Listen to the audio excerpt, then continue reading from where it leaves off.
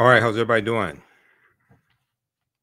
Hotep, hey, this is Michael Imhotep, founder of the African History Network, host of the African History Network show. I'm a talk show host, researcher, lecture writer, and historian. So it is Sunday, April 9th, 2023. Uh, Easter Sunday, Resurrection Sunday for some. Hope everybody's doing well. So uh, I did a Facebook post uh, today that got uh, about 1,400 likes, 1,500 likes. And it dealt with some of the origins of uh, Easter. And it talked about East, Easter, Istra, Oistra. And I said we would do a uh, broadcast tonight dealing with this history. Okay. So normally on Sundays, I'm on 9, 10 a.m. the Superstation WFDF here in Detroit since it is Easter Sunday, the radio station is shut down for uh, live shows. So I said we'll broadcast here. Okay. So I hope everybody's doing well. Share this broadcast on your social media platforms. You're going to learn a lot today, a lot about history, a lot about some ancient history as well. And also, we'll give you uh, information about the online history classes that I teach on Saturdays and Sundays. Uh, ancient Kemet, the Moors, and the Ma'afa, understand the transatlantic slave trade, what they didn't teach you in school, and um, Black resistance movements from the Haitian Revolution, U.S. Civil War, Civil Rights Movement, and Black Power Movement. All right. So uh, let's look at the post that I did today. Many of you saw it and uh, commented on it. It's on our Facebook fan page, uh, The African History Network, The African History Network and uh, I did a few uh, I did a few posts. Let's look at this here. So yeah, this one here got uh, 1500 likes. Uh, let's flip over and look at this. And if you don't follow us on our fan page, the African History Network, you should. So you definitely want to do that. Turn on live notifications so you know when we go live also. Okay, so this is the post that I did today. Uh, and it says, and hopefully you can uh, see this. Let's see if we can zoom in some on this here. All right, that's about the best I can do. Okay, so it says, um, first of all, we have this painting here depicting the Last Supper with African people as um, Yeshua or Jesus and uh, his 12 disciples as Africans, okay, because we know these were African people. Uh, it says Easter is a movable Christian holiday or a movable feast celebrating the resurrection of Yeshua, Y E S H U A. And Yeshua means uh, Jah is salvation in Hebrew. Jah is salvation. Or Jesus, which is the Greek form of Joshua, J O S H U A. Now, Easter is celebrated on the first Sunday following the first full moon, following the vernal equinox. The first Sunday following the first full moon, following the vernal equinox. The vernal equinox, and vernal is Latin for spring, S P R I N G. Vernal is Latin for spring. The vernal equinox uh, marks the first day of spring which usually comes on March 20th or March 21st. Uh, and when Easter is celebrated, is based upon astronomy. Okay, when Easter is celebrated, is based upon astronomy. This was one of the results of the first council of Nicaea in 325 AD, one of the first of about 21 ecumenical councils from 325 AD to about 1870. And we know as a result of the uh, Third Council of Trent in 1563. We know as a result of that, they're trying to recalculate uh, when Easter is going to be celebrated. So this is this leads to the creation of the Gregor of the Gregorian calendar, introduced by Pope Gregory the Thirteenth, uh, about 1582, 1583, uh, Common Era. Okay, so that is the calendar that we use today. Prior to the Gregorian calendar, they were using the Julian calendar named after Julius Caesar. All right, so uh, unfortunately, a lot of a lot of African Americans celebrate Easter, but don't know uh, when to celebrate it, besides it being on the calendar or their pastor telling them uh, Easter's coming up and, you know, uh, celebrate Easter and we're going into Lent, the 40 day uh, period of, of, of sacrifice and, and you give up something for Lent, things of this nature. All right. Okay. So this deals with uh, astronomy. Okay. Let's continue. Now, I said that you can look up uh, Easter in an encyclopedia or dictionary and it would tell you when Easter celebrated. Okay. And uh, so we're going to deal with some of this history today. So we got 1,500 likes so far, about 274 comments, 480 shares. All right. So let's look at, uh, let's continue. Now, whenever I speak about information like this that may be deemed controversial or something like that, I usually do my disclaimer because I'm not telling people, especially African Americans, not to celebrate Easter. What I'm saying is that we need to know the history of what it is that we're celebrating. Okay. We know we need to know the history of what it is that we're celebrating. So this um, presentation is called Easter Origins, Pagan Traditions, Rabbits Laying Chicken Eggs, the Exodus and Black People. Okay. Easter Origins, Pagan Traditions, rabbits laying chicken eggs, the Exodus, and black people. And I know the Ten Commandments was on this weekend, and a lot of our people uh, sit up, sit up every Easter and, and watch the Ten Commandments and watch Yul Brynner portray uh, uh, Ramses II, Remetsu, and and watch Ann, Bas- Anne Baxter portray Nefertari. Okay, uh, we'll, we'll deal with that later on in the uh, presentation. Okay, so let me uh, flip over here just a second. Okay, so here's my disclaimer. I know I may say some things that outside the circumference of your own awareness. Okay, just because you may disagree with it or, or don't like it does not mean it's not true. It just means you have to understand what it is that I'm talking about. So I usually have people put their fingers together to form a circle and I usually say something like this The space inside this circle represents my realm of knowledge. Everything that I think I know about whatever I think I know is represented within the circumference of this circle. I must keep in mind that there are still things to know that exist outside the circumference of my own awareness. Now, the reason why I say this is because oftentimes when people hear something that contradicts what they've been taught, what they believe, or what they think they know, they automatically reject it without doing any research to determine the validity of the new information that they're learning.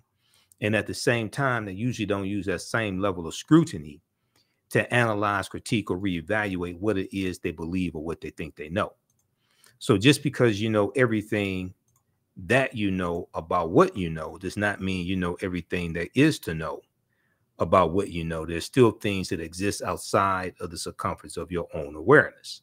All right. So, uh, those are some of the things that we're going to deal with in today's broadcast. All right. And I encourage people uh, to read the books uh, African People and European Holidays and Mental Genocide by Dr. Shaka Musa Shango, book number one, book number one, and book number two. African People and European Holidays and Mental Genocide. Because in these books, he deals with the history of all these European holidays that we have been taught to celebrate. Okay. And once again, I'm not telling African Americans don't celebrate Easter, but you should at least know the history of what it is that we have been taught to celebrate. Okay. We should at least know the history of what it is we've been taught to celebrate. And once you understand the origins of what it is that you've been taught to celebrate, it may if you decide to continue to celebrate these European holidays, it, it may change how you decide to participate in it because you have more information. And I've studied the history of all these European holidays. That's why most of them I don't celebrate. Um, Mother's Day, Father's Day, yeah, you know, I do that. But uh, Christmas, Easter, Valentine's Day, Thanksgiving. Now we may get together with family for Christmas and uh, Easter and uh, uh, the Thanksgiving or Misgiving Day. We may get together with family. Yeah, we should get together with family on those days, but we have to do a better uh, have a better understanding of what it is that we're taught to participate in. Okay, it's just like during uh, St. Patrick's Day. I posted here on our fan page, the African History Network. Um, I said if you celebrate, uh, if you wear green on St. Patrick's Day, will you wear red, black, and green on African Liberation Day? If not, why not? Which is May 25th, African Liberation Day. Okay. So we've been taught to celebrate these uh, holidays going back to when we were children. And even as adults, we really don't understand the history, what it is we've been taught to celebrate. Okay. So let's look at um, some history dealing with Easter. And we're going to look at uh, a few different sources here. And you don't have to take my word for any of this. Proper documentation ends all conversation. Okay. You can go research this yourself. This is why I'm going to give you sources uh, to go research this yourself. All right. So Easter is a movable feast. We're going to look at what determines when Easter is celebrated. Why is it on a different date each year? Uh, we know it, it, it, celebrates the resurrection of Yeshua, who uh, in English we've been taught to call Jesus. But if he was crucified on a Friday uh, and then resurrected on a, if he, was crucified on a particular date and resurrected that Sunday on a particular date, why don't we commemorate it on that particular date on a sun uh, that particular date each year. All right, so let's look at this. Now, uh, what is Easter? Easter is a Christian holiday. It's actually the most important holiday in Christianity. Easter is a Christian holiday that celebrates the belief in the resurrection of uh, Yeshua or Jesus the Christ, Jesus the Christ, because Christ is a title, not a name, coming from Christos, which is Greek, coming from the Kemetic uh, Karast, meaning the rising of the Spirit. And, Chris, and uh, Christ basically refers to anointed or the anointed one. In the New Testament of the Bible or the Helios Biblos, the Sun book, Helios meaning sun, S U N, not the S O N. In the New Testament of the of the Bible, the event is said to have occurred three days after Yeshua was crucified by the Romans and died in roughly 30 AD or 30 Common Era. Okay, 30 Common Era or 30 AD, Anno Domini, in the year of our Lord. Anno, uh, AD does not mean after death.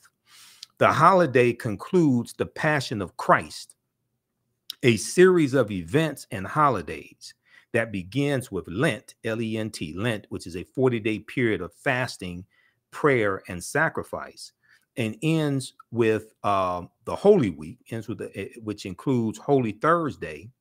Okay, uh, this is a celebration of Jesus, uh, celebration of Yeshua's Last Supper with his uh, disciples or apostles. Okay, the Last Supper, the 12 apostles, also known as Maundy, Thursday, M A U N D Y. Then you have Good Friday, uh, where Yeshua was cru- the day uh, uh, Yeshua was crucified. So you have Good Friday was this the uh, observation of the crucifixion of Yeshua or Jesus, and then you have Easter Sunday, which many people today call Resurrection Sunday. Okay, Resurrection Sunday. And if we talk about resurrection, uh, okay, now this may go outside the circumference of some people's awareness. Okay, so when we talk about resurrection, the first one to be resurrected, we know was Asar. Okay, going back to ancient Kemet and going back to the story of Asar, Aset, and Heru, who the Greeks called Osiris, Isis, and Horus. And uh, we know that the uh, Tekhen or the Washington Monument is a symbol of Asar's resurrection. Okay, his body was cut up into 14 pieces by his brother uh, Set, and it was all, Set, his wife, who the Greeks called Osiris, that went and collected 13 of the 14 pieces. And the one piece that was missing, according to one version of the story, it was eaten by the Nile catfish, that was the phallus, the penis, they erect a tekhen, which is a uh, symbol of the resurrection of the African king Asar. It's a symbol of transformation and resurrection. And we know there were uh, about 1,200 Tekhenu all throughout ancient Kemet. Uh, in the Washington Monument is a Tekhen. The Washington Monument is an African symbol. And we know 50 of the 56 signers of the Declaration of Independence were Freemasons, including George Washington. And there were 1,200 Tekhenu all throughout ancient Kemet. Today, there are less than 12. So when we deal with, we're going to get deeper into this. Now, this may, once again, this may go outside the circumference of some people's awareness. Okay. So I can prove what I'm talking about. Proper documentation ends all conversation. Okay. I can prove what I'm talking about. And those that understand history know this. Okay, because we're, we're gonna we're gonna get deeper into this. I'm gonna give you some sources to go research. You don't have to believe a word that I say. Go research this yourself. Proper documentation ends all conversation. So we we look at the Tekhen, which is a symbol of resurrection, the symbol of the resurrection of the African king Asar, who comes from the uh was known as the first holy trinity of Asar, Aset, and Heru, who the Greeks called Osiris, Isis, and Horus. And you have the Tekhen that's been taken. You have different Tekhenu that have been taken from Kemet from Egypt, from the Nile Valley region of Africa, taken throughout the world. They're, they're in New York City.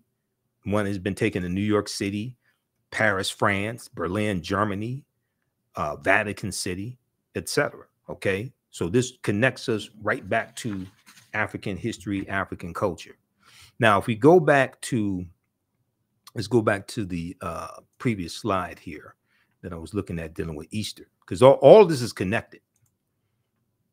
Okay, Easter is connected to uh, Christmas, and then this is connected to ancient Kemet, ancient Egypt, Nile Valley region of Africa. All all this history is connected.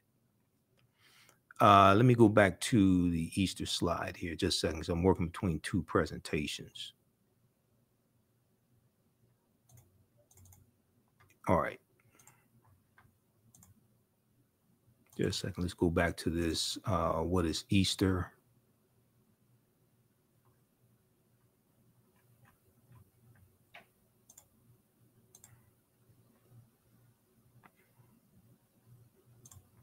All right, hold on. This okay. Here we go. Got to put that back into presentation format.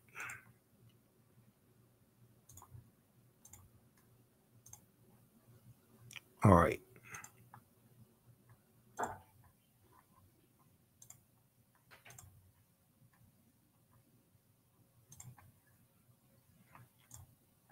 Okay, just a second here. Let me yeah, resume slideshow. There we go.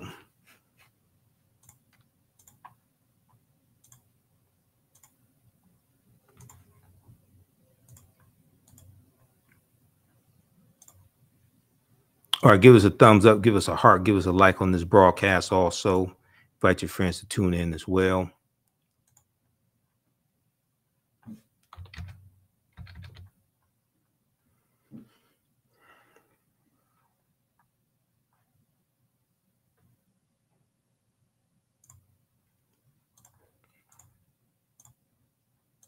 All right, let's continue.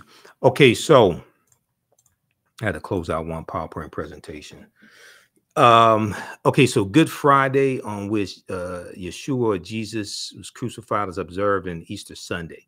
Now, although a holiday of high religious significance in the Christian faith, many traditions associated with Easter date back to pre Christian pagan or what are called pagan times. Many traditions associated with Easter date back to pre-Christian or what are referred to as pagan times. We're going to talk about the word pagan because pagan has taken has taken on a very negative connotation when it comes to um, European anthropology, archaeology, uh, things of this nature. Okay, and in its truest sense, pagan is not something uh, that is negative, okay, but it has taken on a negative uh, connotation.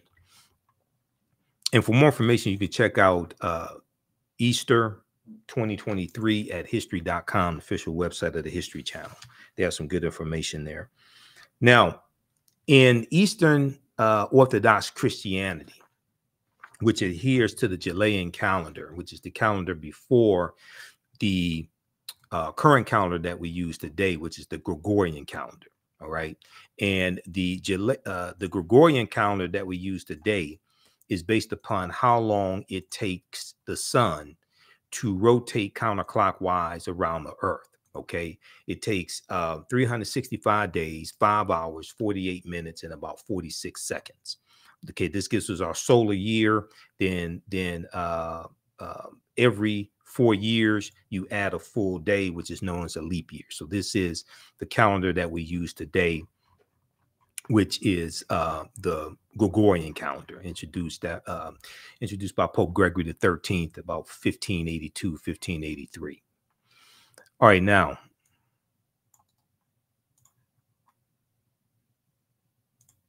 All right, let's continue. So, uh, in Eastern Orthodox Christianity, which adheres to the Julian calendar, Orthodox Easter falls on a Sunday between April 4th and May 8th of each year. April 4th and May 8th of each year. In some denominations or Protestant Christianity, Easter Sunday marks the beginning of Easter tide, or what's known as the Easter season. Easter tide, or what's known as the Easter season. And Easter tide, the Easter se- Easter season ends on the 50th day after Easter, which is known as Pentecost Sunday, or you may hear it referred to as Pentecostal Sunday. Okay. So this is 50 days after uh, Easter. Now, in Eastern Orthodox branches of Christianity, Easter Sunday serves as the start of the season of Pascha, P A S C H A, uh, which is Greek for Passover. And we're going to talk about Passover as well, and we're going to talk about the Exodus that we that we read about in the Helios Biblos, the Sun book, but that we see depicted in the Ten Commandments with Yul Brynner. Okay, so you don't uh, we, we're going we, we have to talk about the Passover. Um, okay, so the start of the season of Pascha, which is Greek for Passover, which ends 40 days later with the holiday known as the Feast of the Ascension, the Feast of the Ascension. Okay. Now, so what determines when Easter is celebrated? Because Easter falls on a different date each year. So if Yeshua resurrected on a particular Sunday, why don't we commemorate that particular date? Okay. Uh, uh, each Sunday, whether it was whether it was uh, April 25th or May 2nd, whatever it is. All right. Now, the complicated dating, dating uh, for Easter was set in 325 Common Era AD at the First Council of Nicaea, which scheduled the festival to be celebrated on the first Sunday following the first full moon occurring next after the vernal equinox, which falls on about March 20th, March 21st. It can fall early in the morning on March 22nd, but you're dealing with that period of time. However, if the full moon occurs on a Sunday, Easter will be celebrated the following Sunday.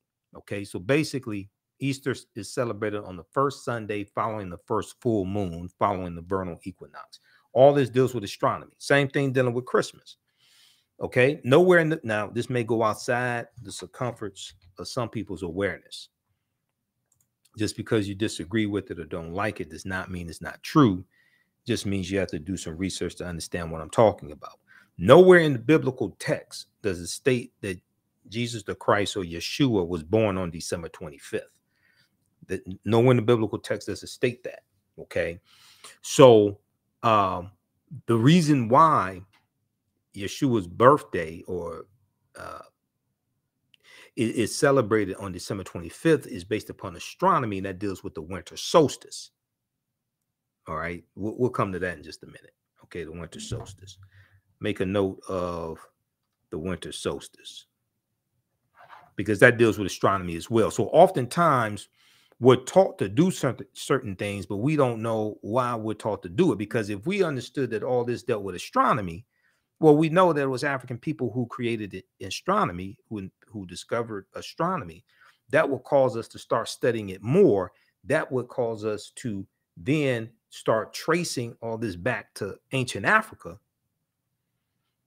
And then once that once that happens, it's pretty much game over after that. Once we reclaim our mind, and just as the 13 pieces of Asar's body were put back together and Asar is eventually going to be resurrected, then you start having the resurrection of the African mind once you trace this all back to ancient Africa before foreigners, fakers, and fools came into the continent, continent of Africa, misinterpreted what we had, stole it, copied it, distorted it, and then misrepresented it to the world like they invented it themselves, then taught it back to us, taught it back to the descendants of African people who don't really have that collective knowledge.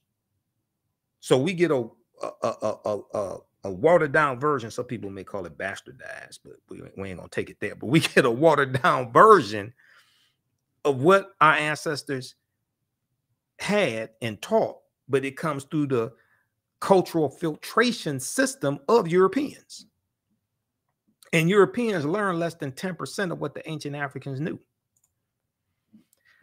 All right, so the date of Easter can fluctuate between March 22nd and April 25th because the Western churches Catholic and Protestant now follow the Gregorian calendar.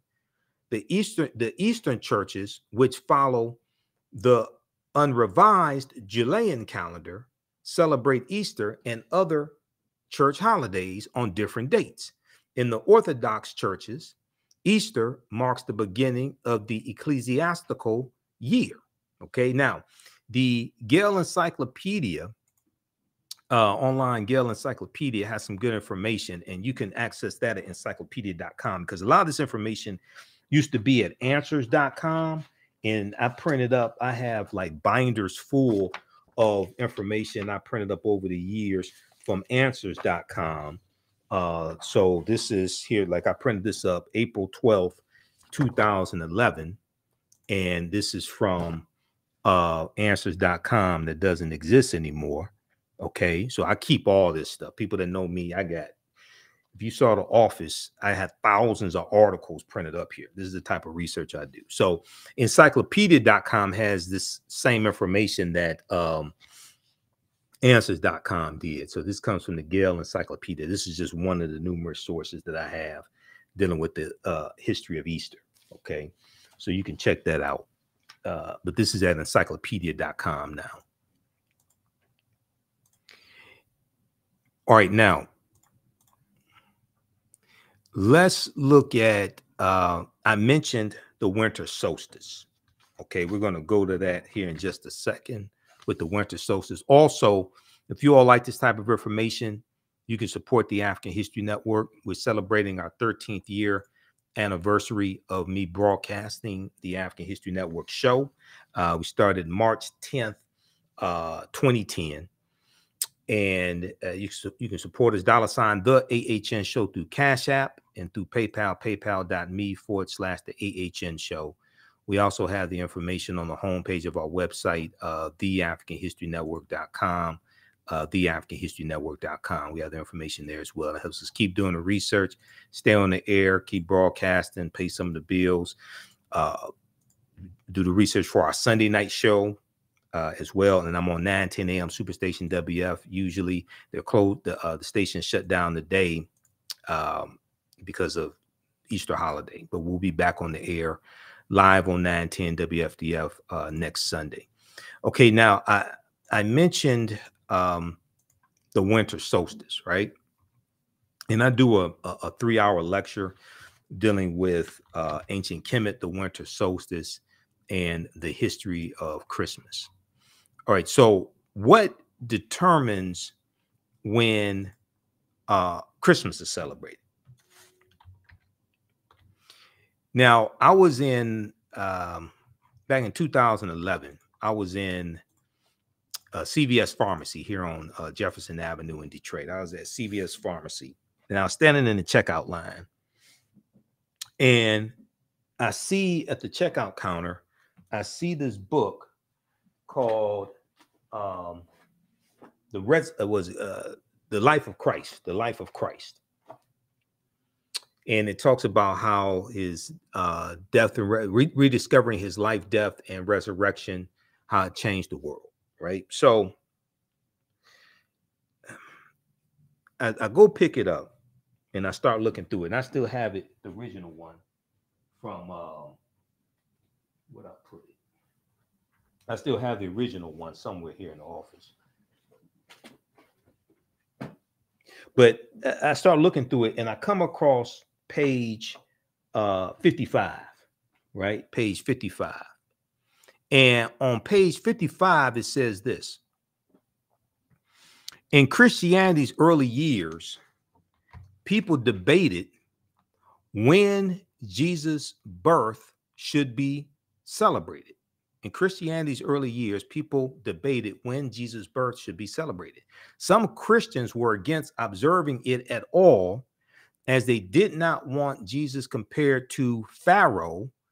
They don't tell you which Pharaoh, because Pharaoh is a title, not a name, compared to Pharaoh and Herod, whose birthdays were commemorated. But in the fourth century, Common Era AD, Pope Julius I made it official. Christ's birth would be celebrated on December 25th, referring to Yeshua or Jesus, Jesus the Christ, because Christ is a title, not a name. Uh, and in the Helios Biblos, you know, it is uh, referred to as uh, Jesus of Nazareth. Okay, but the the title, the the name, the word Christ is a title. So is Jesus the Christ. Now, December 25th was already considered the birthday of the Son, not the S O N, but the S U N, the Son of God, not the S O N, but the S U N.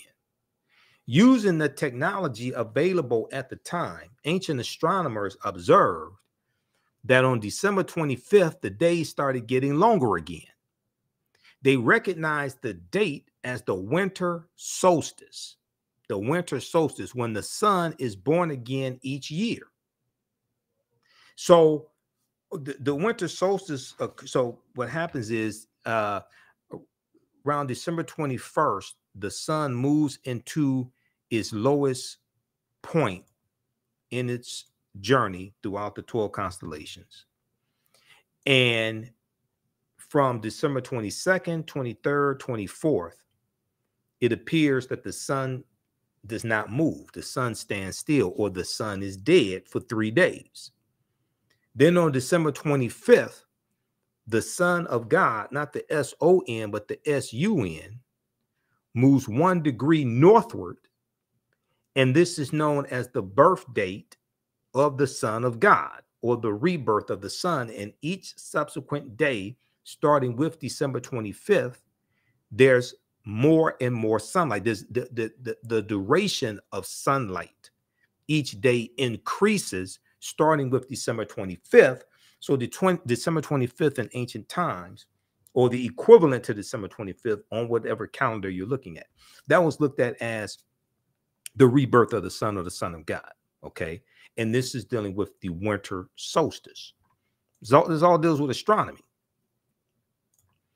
All right, now the Romans celebrated the birthday of the god Sol Invictus, S O L, S O L. That that word Sol means sun, S U N. Sol Invictus in Latin means unconquered sun. They celebrated the birthday of the deity Sol Invictus on December 25th. The day was also recognized as the birthday of Mithra, the sun deity of the ancient Persians. And December 25th was also the birthday of Attis, A T T I S, an agricultural deity or god worshipped in Asia Minor. By choosing December 25th, the Christian church avoided upsetting the masses. No one wanted their festivals canceled. So the Christian church simply combined the new this, new Christian holiday with pagan traditions.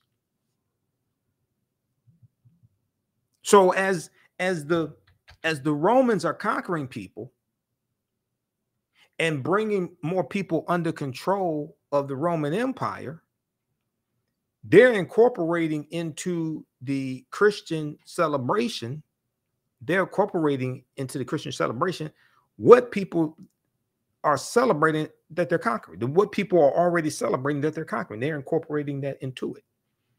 And that's that's one of the ways you get people to accept your cultural traditions and your ideologies by incorporating aspects of what they are, are already celebrating into what you are imposing upon them so they see similarities is something familiar to them and they're less likely to fight against it or rebel against it so so this came from um the life of christ okay the book the life of christ this is from uh the the was the National was it the American Bible Society, okay, and it's distributed by Time Home Entertainment Books, like Time Life Books, Time. Magazine, all of that. So what what happened was this was the 2011 edition, and I did a number of presentations and have excerpts of it online, things like this. And I bought this book. This book was like $12. I bought this book specifically for what's on page 55 because I said people are not going to believe this. I already knew this history, okay, from numerous sources. I mean, you read Christianity Before Christ by Dr. John G. Jackson. Uh, he breaks this history down uh, there, and Tony Browder talks about it in uh, Nile Valley Contributions to Civilization. All right, and I've got Christianity Before Christ right around here. I just saw it before we started right here. Before we started the broadcast. Uh, so yeah, right here, Christianity Before Christ by Dr. John G. Jackson. So what happened was a sister reached out to me who watches my broadcast. This was probably about 2012. She said that she purchased the new edition of this, which was like the 2012 edition. She purchased that, and the information that's on page 55 was not in that new edition. Okay not the singing group, not Ronnie, Bobby, Ricky, and Mike and Johnny, not, not the singing group, but the new edition of the book, the 2012 edition, they ain't had that information in there.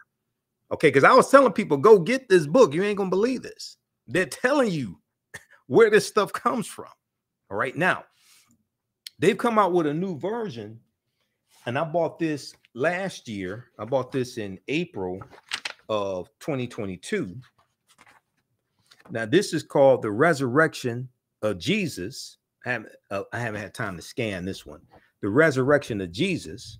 Okay. This is about, well, how much I pay for this? About 13 $14, something like this. Uh, yeah, 13.99. Now, in this one, and I got this from CVS also. This is put out by okay, Centennial Bible, but this is one of those uh, expensive books you see at the checkout stand at CVS. Now, in this one, on page, what page was that? They actually talk about Asar, Aset, and Heru.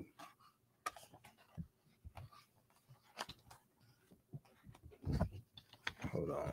I had it bookmarked.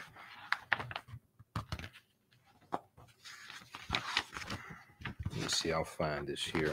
Because what they said was, and they actually had a picture of Aset. And they're trying to separate uh, where all this stuff comes from.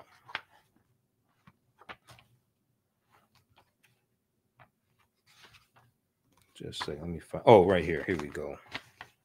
So this is on page 67 and this is the 2022 edition.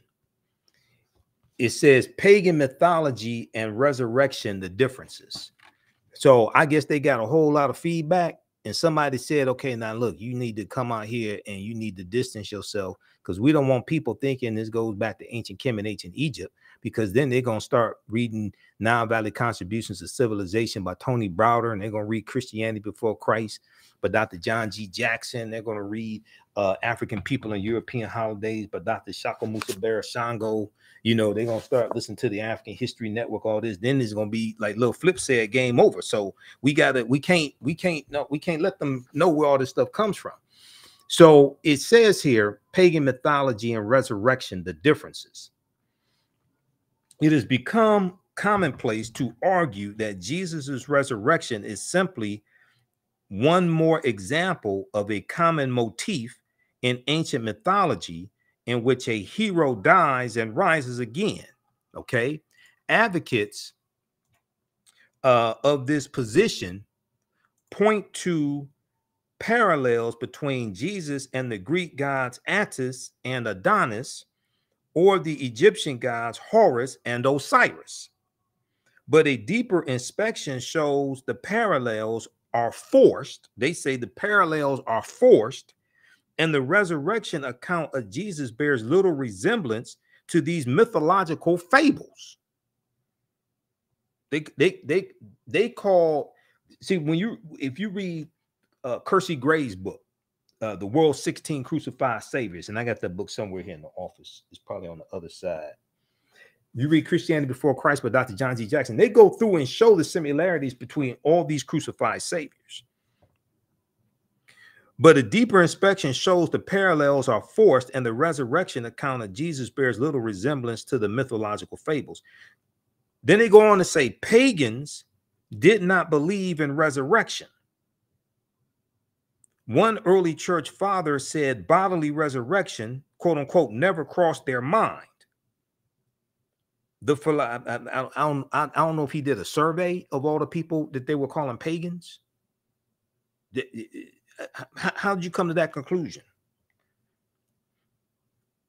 The philosophers on on uh the philosophers on Mars Hill mocked Paul for his view because parallels between common opinion and his simply did not exist. In Egyptian mythology, Osiris never rose from the dead. He ruled the underworld and served as the living king of the dead. The claim that Horus died after a scorpion sting is simply incorrect. He only became ill and was nursed to health by his mother. In Greek mythology, the god Attis was not resurrected. His spirit entered a pine tree, hardly a reasonable parallel. The overwhelming historical evidence for Jesus' resurrection. Now, okay, now this is gonna go outside the circumference of some people's awareness. Now I ain't gonna. Okay, how should I? How should I say this? Okay, okay. Let me just continue. Hold on. Let me just continue. Okay, the overwhelming, quote unquote, historical evidence for Jesus's resurrection in terms of eyewitness and firsthand contemporaneous accounts is in a completely different category than the legends and fables of mythology. Okay, now they say in Egyptian mythology, Osiris never rose from the dead. He ruled the underworld and served as the living king of the, uh, of the dead. It is true that he ruled the underworld. But when we go and, let, and let's go to Nile Valley Contributions to Civilization by Tony Browder. Okay, to say that Asar, who the Greeks called Osiris, to say that he oh uh, actually let's go to um let's go to Egypt on the Potomac. Let's let's go there. Egypt on the Potomac. To say that Asar it was not resurrected is incorrect. I don't know um what type of research they did on this. They could have called me, but they may be still mad at me because I exposed what was going on with uh, the 2011 edition. Okay. I, they, I think they may owe me some money. I don't know how many people went and bought that one because I told them to. So they may they may owe me something. Let's look at this right here. Let's look at Egypt on the Potomac by Tony Browder. So I teach this. Uh, we we teach a lot of this in the uh, online history classes that I teach, especially especially ancient Kemet, the Moors, and the Ma'afa, understanding the transatlantic slave trade, what it did didn't teach you in school. Let's look at page 13 of Egypt on the Potomac. Okay. Let me flip over to this here, right here. Let's look at page 13. Now, this is Heru in the, the this is Heru, the sun, in the uh the falcon in the form of a falcon. Okay. If we go and look at this is page 13, let's go back to page 12 of Egypt on the Potomac by Tony Browder. Uh, it deals with uh, Asar impregnating uh, the spirit of Asar pregnating Aset after Asar was killed by his brother Set. Okay. The spirit of Asar impregnated his wife, and nine months later, the virgin Aset gave birth to their son Heru on December 25th if this story, and we can back up a little bit here, uh, page 10. Stories of the first royal family are an integral part of the earliest mythology, history, and theology of ancient Kemet or ancient Egypt. But by every account, Asar was recognized as the founding father of Kemet.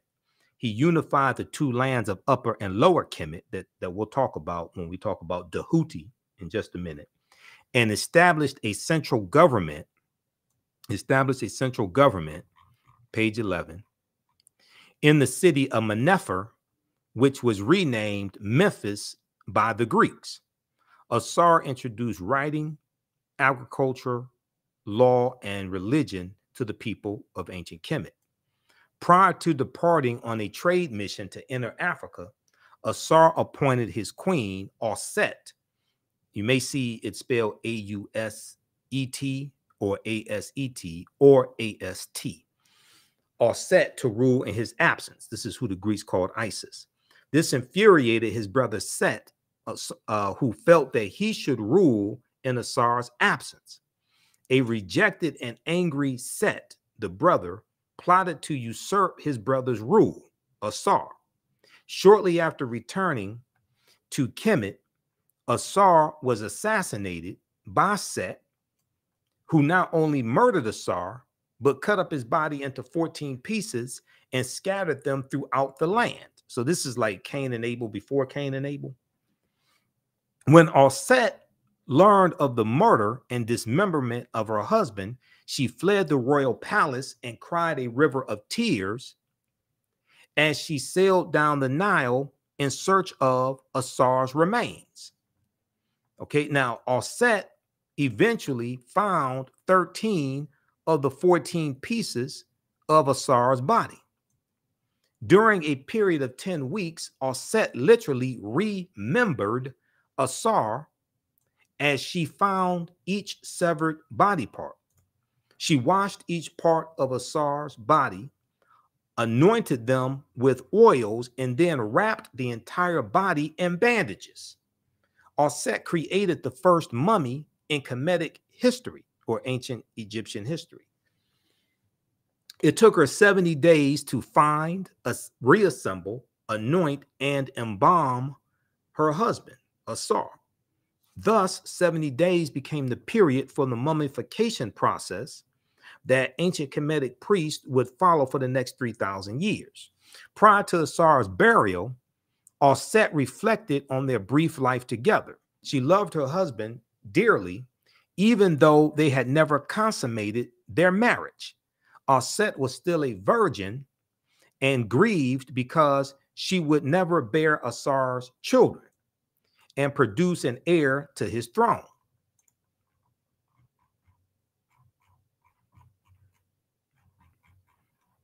All right, let's see here. Okay, let's continue. For some reason it's coming up blurry. Let me try to fix this. All right.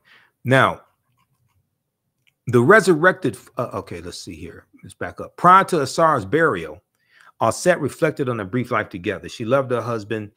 Uh, Aset was still a virgin and grieved because she would never bear Asar's children and produce an heir to his throne. That's page 11. Let's go to page uh, 12. Miraculously, the spirit of Asar answered his wife's prayers and visited her body and visited her before he was laid to rest. This is the spirit of Asar.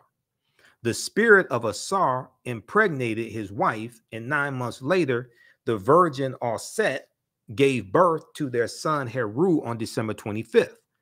If this story sounds familiar, it is because it has been modified and retold by many cultures for over 5,000 years. Yet it is the first story in recorded history of the impregnation of a virgin by a Holy Spirit and of a virgin birth. We're going to deal with more information on that because Browder talks about this in Nile Valley Contributions to Civilization, also page 95. Now, throughout his youth, Heru, the son, was told of the great deeds of his father as he was gradually prepared to pursue his life's work to avenge the murder of Asar and reclaim his father's kingdom. As an adult, Heru confronted his uncle Set and defeated him after a protracted battle. Now, this is this is where it's the Asarian drama, what's called the Asarian drama. This is where the story of Star Wars comes from with George Lucas. This is where the story of Star Wars comes from. And Luke Skywalker, uh, Luke Skywalker killing Darth Vader, but he he resurrects his father. Darth Vader is his father, but he resurrects the good out of Darth Vader.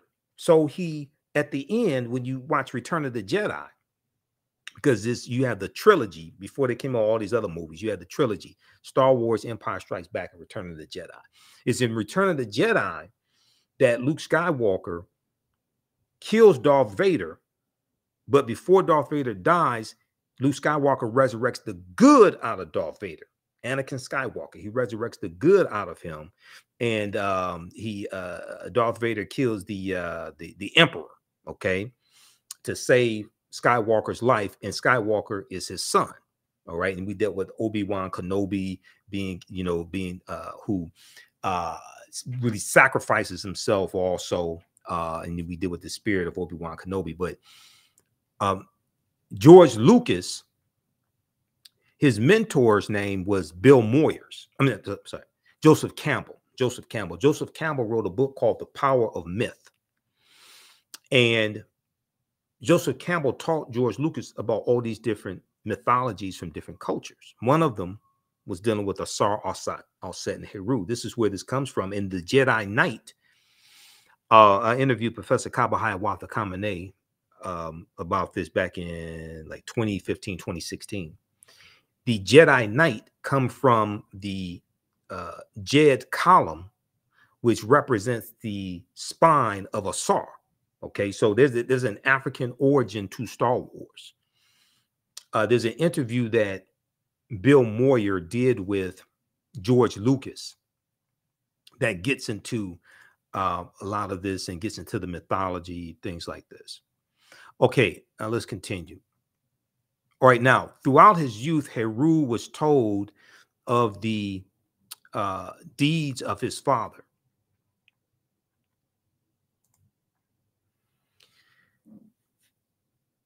Uh, he was told of the great deeds of his father as he was gradually as he gradually prepared to pursue his life's work which was to avenge the murder of asar and reclaim his father's kingdom. As an adult heru confronted his uncle set and defeated him after a protracted battle. According to the ancient myth after the battle the victorious heru was transformed into a falcon and flew into heaven to tell his father of his victory over Set. When Heru returned to Kemet and reclaimed his father's throne, Asar was resurrected. Asar was resurrected. Asar was resurrected, and his spirit ascended to the throne of judgment, where he presided over the souls of the deceased who appeared before him. Okay, he sits on the throne of judgment, and you have the famous scene called the judgment scene. But Asar was resurrected. Okay, this is page 12 of Egypt on the Potomac by Tony Brown. Okay, now in the uh page 67 of the resurrection of Christ, the world's greatest hope. Okay, I'm not saying don't buy the book. You, you can buy the book. I bought it. Okay, so I'm not going to tell you don't buy it, and I bought it. You could, but here on page 67, where they said pagan mythology and resurrection, the differences, they said Asar was not resurrected. That's false. Asar's spirit was resurrected. They said Asar was not resurrected. That's false. And and and I surmise that they said Asar was not resurrected because then if you then if you admit that this is an ancient resurrection story before the story of Yeshua was resurrected, then people are going to go and ask their pastor, wait a second, why aren't you teaching us this? They're going to go ask the minister, why aren't you teaching us this? They're going to start doing some research. But if you can throw them off the trail and say, oh, that didn't happen, well, then you can misdirect them. Okay. And I'm not saying don't read the Bible. Yeah, we should read the Helios Biblos. I got one right here. See, I have a study Bible. New King James Study Bible. This is the, was New King James Internet, New King James Study Bible. Okay, New King uh, NKJV, New King James Version Study Bible. The Study Bible has two thousand pages, and it came with a CD-ROM. So I bought this back in uh, April fifth, two thousand nine. Okay, April fifth, two thousand nine. Came with a CD-ROM also because this gives a deeper understanding See, the devotional Bible, my devotional Bible is like 400 pages. The New King James Study Bible, which was $40 back in 2009, I don't know what it is now. It's probably $140, something like that with inflation. I don't know. This is 2,000 pages. It has it gives you deeper understanding, word definitions. His uh, gives you like uh, geographical understanding, different background. It's much a much deeper understanding. The devotional Bible is the Bible that people sit up in church and and and look at when the pastor talks and they say amen and hallelujah, things like this, and don't know what he's talking about. Okay, that's the devotional Bible. All right. okay, let's continue here. Amen coming from the Amen priest and priestesshood, also coming from ancient Kemet as well. Okay, I don't want to get too deep into this, but so some people uh, so, so this is going to start causing people to ask questions right? You don't have to believe a word that i say. Go do your own research. This is why i provide you with the sources. Proper documentation ends all conversation. And if i can get you start asking questions then you start seeking out answers okay? Uh if we look at this piece right here and i talk about this in my uh in my classes um there's a good article but there's a good paper that deals with what's called the mystery religions. The mystery religions. And it talks about the influence of Asar, Aset, and Heru, or what the what the Greeks called Osiris, Isis, and Horus. It talks about this, right? Now it's not written, it's not written by Dr. Yosef Ben Jochannan. It's not written by Tony Browder or Professor James Small or Dr. John Henrik Clarke or Professor Kaba Hiawatha Kamene or Dr. Ray Hagins, anything like that. It's not written by them. It's written by Dr. Martin Luther King Jr. When he was at Crozer Theological Seminary uh, between 19 between November 29, 1949 and February 15, 1950. The name of this paper that Dr. Martin Luther King Jr. wrote is called The Influence of the Mystery Religions on Christianity. The Influence of the Mystery Religions on Christianity. Okay, now this is at the Stanford University. This is at Stanford University's Martin Luther King Jr. Research and Education Institute. All right. So, long story short, I don't have time to get through the whole paper. But when we look at this here, what he is talking about is the influence on Christianity of these different mystery religions that are a retelling, a retelling of the same story of uh, the virgin birth, adoration, annunciation, then then uh, a resurrection of a savior. So he talks about the influence of Osiris and Isis. The influence of Osiris and Isis. Dr. Martin Luther King Jr., 1949 1950, said the Egyptian mysteries of Isis and Osiris exerted considerable influence upon early Christianity. Uh oh. Exerted considerable influence upon early Christianity. He said these two great Egyptian deities who worshiped passed, who, who uh, whose worship passed into Europe because they were worshipped in Europe also, not just in Kemet, not just in Egypt. They were not they were revered not only in Rome, but in many other centers where Christian communities were growing up. See, this is where you get the worship of the Black Madonna and Child from all throughout Europe, because they were Europeans were worshiping African people. And, and the, the European country that probably has the most statues and paintings references to the Black Madonna and Child would probably be France with uh, about 300 of them to this day, about 300 of them. Osiris and Isis, so the legend runs, were at one and the same brother and sister, husband and wife, which is true. And they had, they had never consummated their marriage. But Osiris was murdered, his coffin body being thrown into the Nile River. And shortly afterwards, the widowed and exiled Isis gave birth to a son, Horus. This is who the Greeks call Horus or Heru.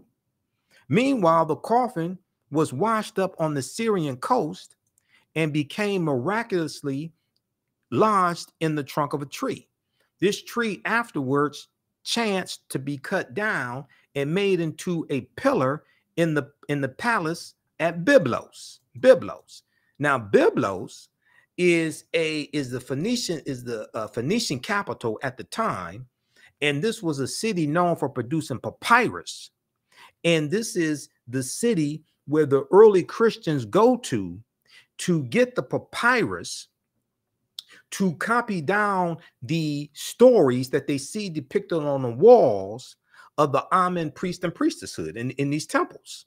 Okay, and they copy these these stories down and put them into a book.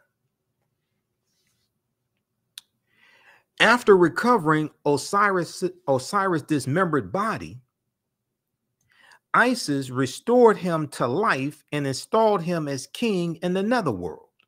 Meanwhile, Horus, having grown to manhood, reigned on earth, later becoming the third person of this great Egyptian trinity. Okay, so read the rest of this. I don't have time to get through the whole paper from Dr. Martin Luther King Jr. This is why I tell people we haven't studied Dr. King. And every Dr. King day, we disgrace him with these watered down, uh,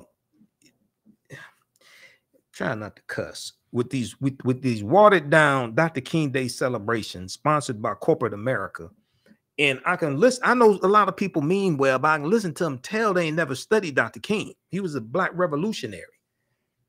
And I'm like, at least if you're going to read one thing about Dr. King, at least read his last book, Where Do We Go From Here? Chaos or Community, because he wrote five books. So when I see people, I know they mean well, but they keep doing these watered down, uh, um, these watered down. We shall overcome. Everybody hold hands. Uh, celebrations of Dr. King and don't deal with the revolutionary Dr. King that called out the American government that fought against poverty, racism, and the military Um, and toward the end of both of their lives, Dr. King and Malcolm X's ideologies were converging. So when you read uh, this book here by James H. Cone, Martin Malcolm in America, Dream or Nightmare.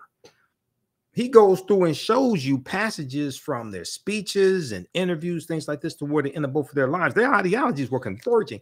And Malcolm, when Malcolm leaves the Nation of Islam, officially separates uh, March 8th, uh, 1964. And then March 26, 1964, uh, Malcolm meets Dr. King at the U.S. Senate debate for the Civil Rights uh, Act of 1964. And they just meet for a couple minutes. Malcolm tells Dr. King, I'm throwing uh, my heart, uh, I'm throwing all of my heart into the effort of the civil rights movement because Malcolm joins the civil rights movement when he leads the Nation of Islam. And one of the themes of the ballot or the bullet that he delivered at least three times that I know of. Uh, March 29th, 1964 in Washington Heights, New York, April 3rd, 1964 at uh, Cory Methodist Church in Cleveland, Ohio, and April 4th, 1964 at uh, the historic King Solomon Baptist Church here in Detroit. One of the themes of the ballot or the bullet was interjecting black nationalism into the civil rights movement. He was talking about radicalizing the civil rights movement. He talks about registering African Americans as independents. He's not telling people don't vote.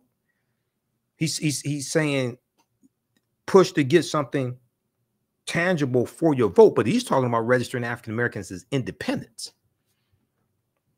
And then you look, you read a speech from June 28th, 1964, uh, his um, by any means necessary speech, where he announces the uh, formation of the Organization of Afro American Unity. That's a revolutionary speech because he lays out five the five the five planks of the OAAU's platform, and one of them is dealing with politics. Okay, being politically educated, registering people to vote as independents, voting intelligently. He talks about education. He talks about economics blackpast.org has the uh, transcript of that speech. Everybody needs to read it. Because we haven't really, most of us really haven't done a good job of studying either Dr. King or, or Malcolm X. Okay, let's continue here. How's everybody doing? How you all like this type of information? Give us a thumbs up, give us a heart, give us a like on this broadcast.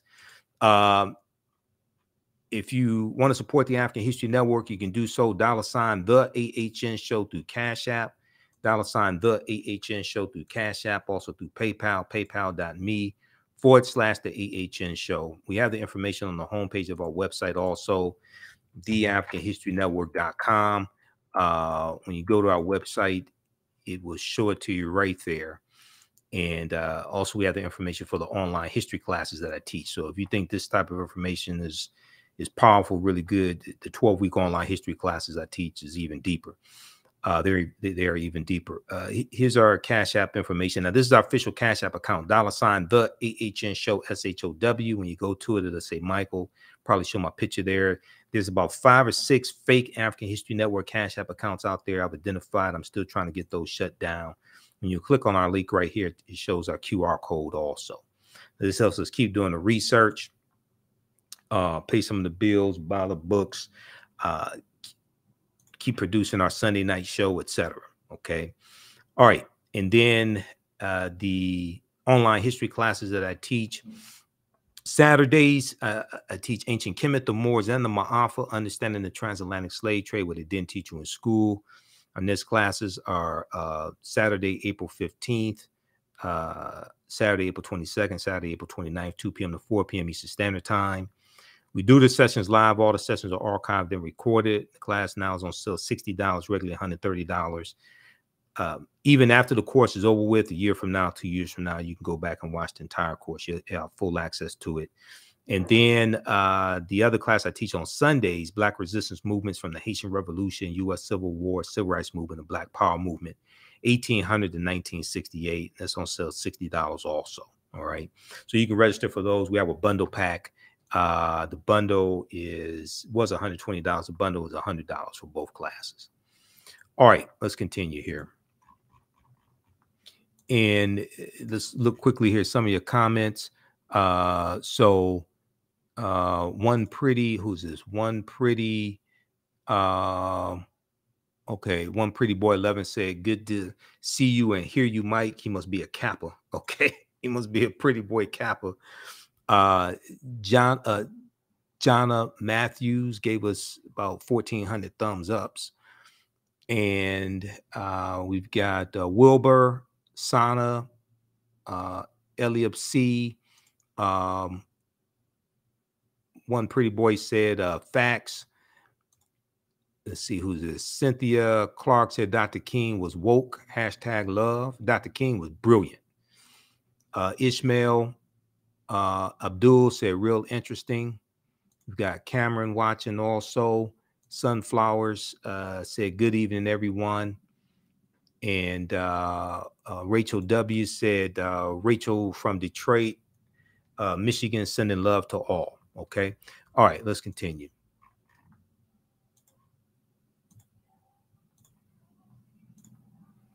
All right, now uh, I want to go back to uh, the Easter information, and then uh, I want to go to page 95 of Nile Valley Contributions to Civilization by Tony Browder, also, because this is important information there that helps us to better understand um, this history.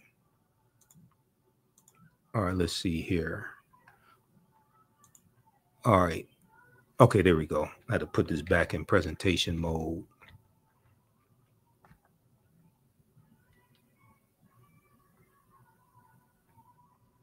All right, stand by. I'm trying to get back to this here. There we go. All right.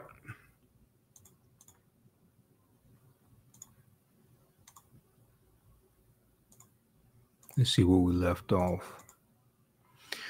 Okay, so where does the name Easter come from? Where does the name Easter come from? Saint Bede, also known as the Venerable Bede, B-E-D-E, he was an eighth century, uh, the eighth century author of uh, Historia Ecclesiastica Gentis Anglorum, ecclesiastical history of the English people.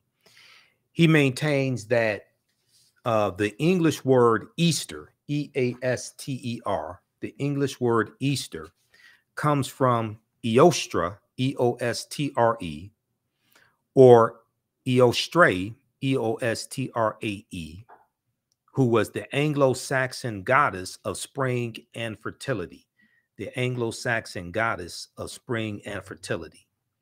Now, other historians maintain that uh, the word Easter derives from uh, in albis, A L B I S, a Latin phrase that's plural for alba, A L B A, or dawn, D A W N.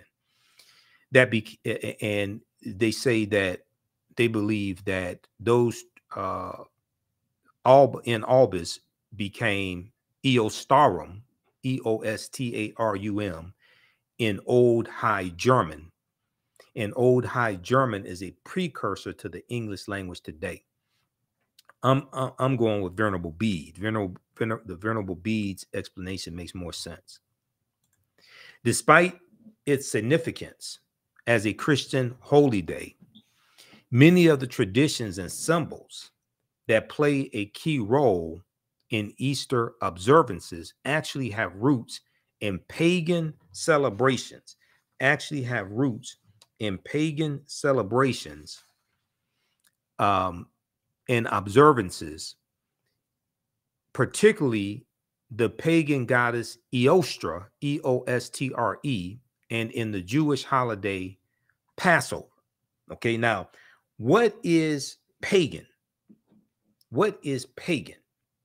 Now, Pagan is a word that is misused to speak negatively about a group of people. If we look at the American Heritage Dictionary, and there are other dictionaries you can look at, Merriam Webster, etc., pagan as a noun is an adherent of a polytheistic religion in antiquity, especially when viewed in contrast to an adherent of a monotheistic uh, religion.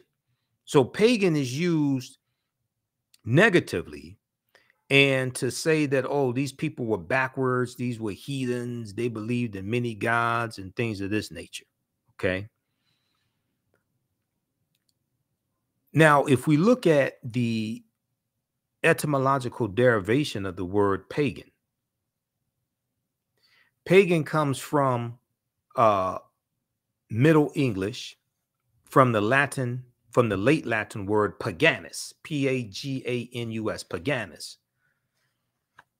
from Latin meaning country dweller, civilian, and it also comes from pagus, which basically means country or rural district. So basically, pagan historically referred to somebody who was a country dweller, somebody who lived in the country, they lived in a rural district, and they were looked at as being you know backwards or something like that. Just like like today we look at we may look at some people in the south as being backwards or you know something like that. They um they may still make moonshine or, or something you know they're in the country you say that you know they backward they're backwards they may have an outhouse or something so that's that's what pagan originally meant okay Uh, so you can check out the American Heritage Dictionary or Merriam-Webster or others for uh, to get a better understanding of pagan. Now, like many other Christian feasts, the celebration of Easter contains a number of originally pagan or folk religious elements tolerated by the Christian church. Among these are customs associated with the Easter egg. Among these are customs associated with the associated with the Easter egg. Uh, Easter, uh, Easter breads and other special holiday foods, and the European concept of the Easter hare, the Easter hare, or in America, the Easter rabbit. Okay, all these are um, traditions from uh, other cultures.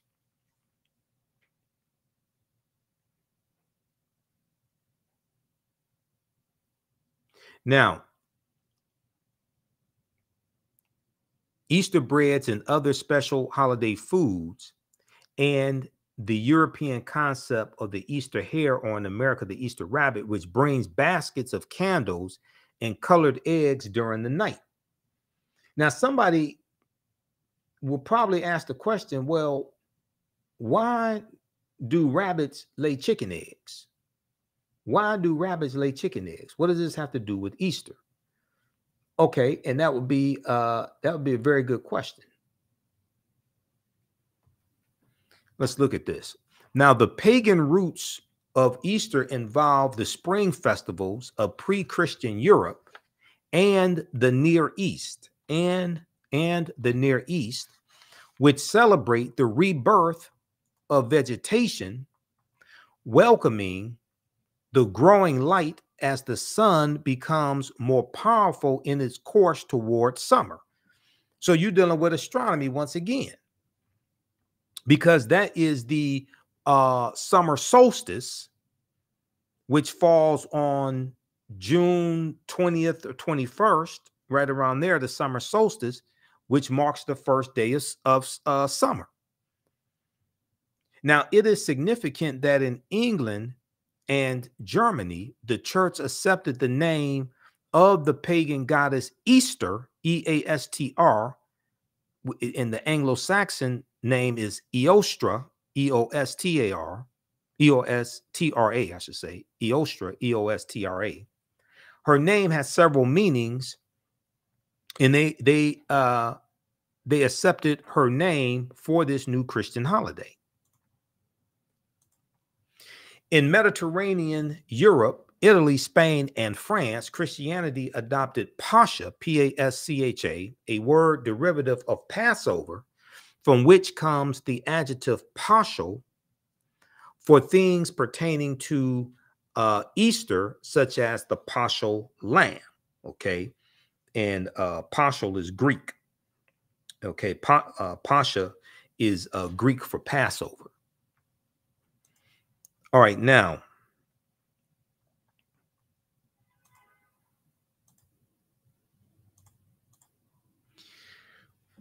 when we look at the goddesses Eostra and Ostara, the name Easter may have come from Eostra or Eastra, E S E A S T R E, the Teutonic or Anglo Saxon goddess of spring and fertility, whose feast was celebrated around the start of spring. She is associated with the hare, H A R E, which is a large rabbit, and egg, both symbols of creation. So the rabbit or the hare, H A R E, is a symbol of creation, just as the egg is a symbol of creation. So now we start getting now we start seeing where these symbols come from that are put together in the Easter basket. And we have our children believing that rabbits lay chicken eggs because we don't know the backstory. Now, Ostara is a Germanic goddess who was always accompanied by a hare, a rabbit, possibly the ancestor of our modern Easter bunny. The association of both the rabbit and eggs with Easter is probably the vestige of an ancient springtime fertility rite. So, going back to the uh, paper that Dr. King wrote dealing with the uh, influence of, of the mystery religions, I don't know how many people know this, but um, ministers and pastors, things like this, when they go through the seminary, they take a class, at least one class in comparative religions. They take at least one class in comparative religions. So the information that Dr. King was talking about about Osiris and Isis and Horus, things like this, the the ministers know this because they study this in their comparative religion class. They know this information. Now, how much they let you know that they know, well, that's another story. Some of them will readily admit it. Others may act like they don't know what you're talking about or something, but they they know this. So we have to. So you know, next Sunday, people are gonna have a lot of questions. They may have a lot of questions. You may take notes and go ask your pastor or, or Bible study, your Bible study class Wednesday night. Ask these questions. That's not to challenge anybody, that's to get a better understanding. That's why in Bible study, you use a study Bible. Okay, use a study Bible, not a devotional Bible in Bible study class because you, it's designed to gain a deeper understanding, not to memorize passages, but to gain a deeper understanding. And if you take the stories of the Helios Biblos and trace them back, a lot of these stories trace back to ancient Kemet, ancient Egypt, trace back to uh, uh, Sumer, uh, different Mesopotamia, different things of this nature. It'll reconnect African people to who we are.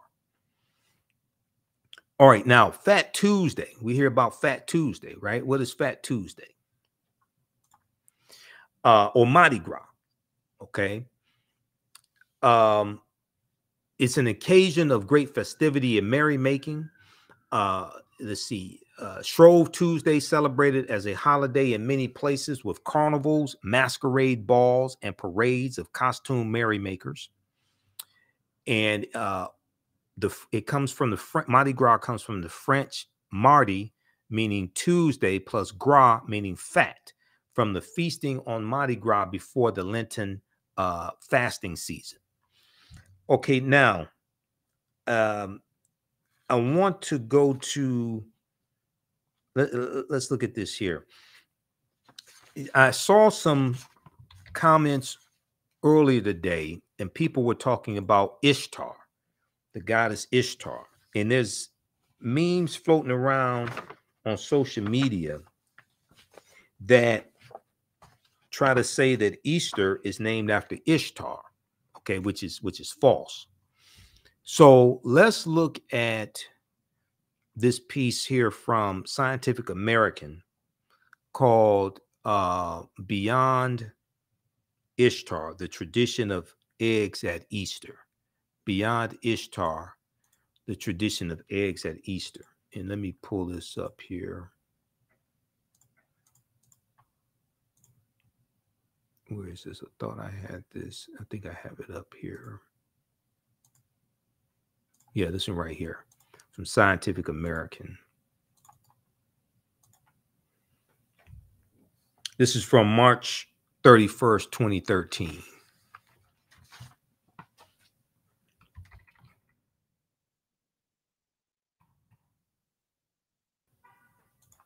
All right, let's flip over to this. Everybody give us a thumbs up, give us a heart, give us a like on this broadcast. Share this broadcast on your social media platforms. Invite your friends to tune in. Tell them to ask, tell them to uh, post their questions, take notes. Okay, so this article is by Krystal D'Costa, March 31st, 2013. Beyond Ishtar, tradition of eggs at Easter. And in the article on page uh, two, bottom of page two, so she says that uh, there is a meme floating around Facebook that some some people have rallied around and are sharing as truth of Easter. It proclaims Easter was originally the celebration of Ish- Ishtar, I S H T A R, the Assyrian and Babylonian goddess of fertility and sex. Her symbols, like the egg and bunny, were and still are fertility and sex symbols. Or did you actually think eggs and bunnies had anything to do with the resurrection? After Constantine decided to Christianize the empire, Easter was changed to represent Jesus but at its roots, Easter, which is how you pronounce Ishtar, is all about celebrating fertility and sex. So this is like misinformation floating around on Facebook and probably other social media platforms. So it goes on to say clearly we all know that Facebook memes are the ultimate source of information, particularly when they uh when they make a biting point about something or some group that is not particularly favorably viewed. But it is well known that under the Roman Empire, Christianity did indeed adopt the pagan tradition, pagan, rituals of conquered peoples, as we already talked about, in an effort to help convert them. In an effort to help convert them. It, it worked very well. It worked pretty well as a strategy as it allowed the conquered peoples to continue a semblance of their observances as they remembered. And with time, the population would be replaced with those who only knew the new traditions. So the elders die out, and then you have the children who don't know the uh, traditions, who don't know the ways of their ancestors, and they just buy into the, the new traditions imposed upon them by the conquerors by the colonizers. This is not a secret. However, there are, are a few things wrong with the Ishtar meme that a simple Google search will turn up. Now, Ishtar was the goddess of love and war and sex, as well as protection, fate, childbirth, marriage, and storms. S T O R S T O R M S, storms. There's some fertility uh, in there. But as with Aphrodite, there is also an element of power. Her cult practiced sacred prostitution. Her cult practiced sacred prostitution where women waited at a temple and had sex with a stranger in exchange for a divine blessing, blessing and money to feed hungry children or pay a debt. Ishtar's symbols were the lion, the morning star, and eight or 16 pointed stars, again, symbols of power. The word Easter does not appear to be derived from Ishtar, but from the German Eostra, E O S T R E, the goddess of dawn, D A W N, and a bringer of light. Uh, English and German are in the minority languages that use a form of the word Easter to mark the holiday.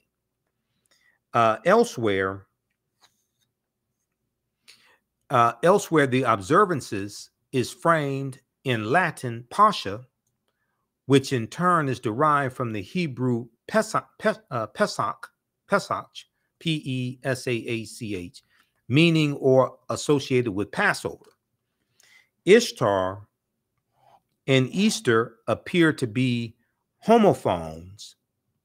They may be pronounced similarly, but have different meanings. So they may sound similar, but they're different. They're not the same thing. It's just like yesterday in my class, we talked about how Africa is not named after Publius Cornelius Scipio Africanus.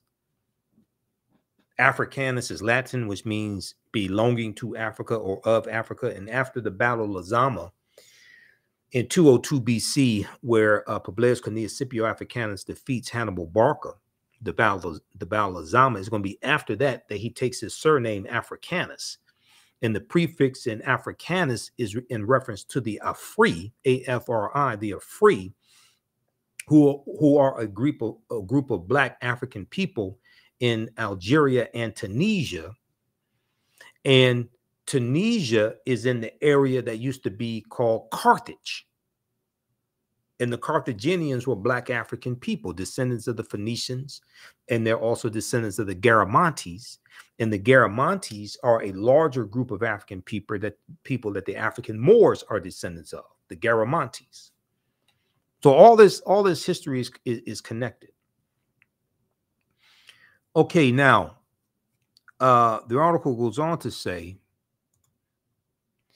uh, our helpful meme places the egg in Ishtar Ishtar's domain, but Ishtar doesn't seem to be connected to eggs in any explicit way. However, there are plenty of other older traditions that involve the egg as a symbol of rebirth and feature it prominently in creation mythologies and feature it prominently in creation mythologies. Ancient Egyptians believed in a uh, uh, primeval primeval egg from which the sun god hatched. Alternatively, the sun was sometimes discussed as an egg itself, laid daily by the celestial goose Seb, S-E-B, the god of the earth, uh, or you may hear it referred to as Geb, G-E-B, Geb. The phoenix is said to have emerged from this egg. The egg is also discussed in terms of a world egg modeled by Khnum from a lump of clay on the potter's wheel. Okay, so you can read the rest of this here. But Easter is not from Ishtar because this is kind of lengthy article. This is at Scientific American. There are other sources on this also uh, Anthropology and Practices, the section, Scientific American, Beyond Ishtar, the tradition of eggs at Easter, written by Krystal D'Costa, March 31st, 2013. And Krystal D'Costa is a, uh, she writes dealing with uh, anthropology. Okay, so check this out. Now, uh, I want to go to page. How's everybody doing? Wilbur said, thank you. Um, and Matthew said, that's what's going on now. Okay.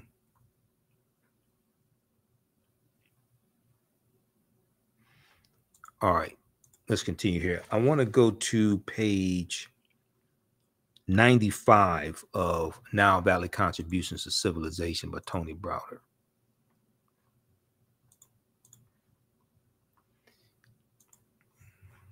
Let's look at this because this gives us helps give us a, gives us a deeper understanding here. And page 95, let's look at this here.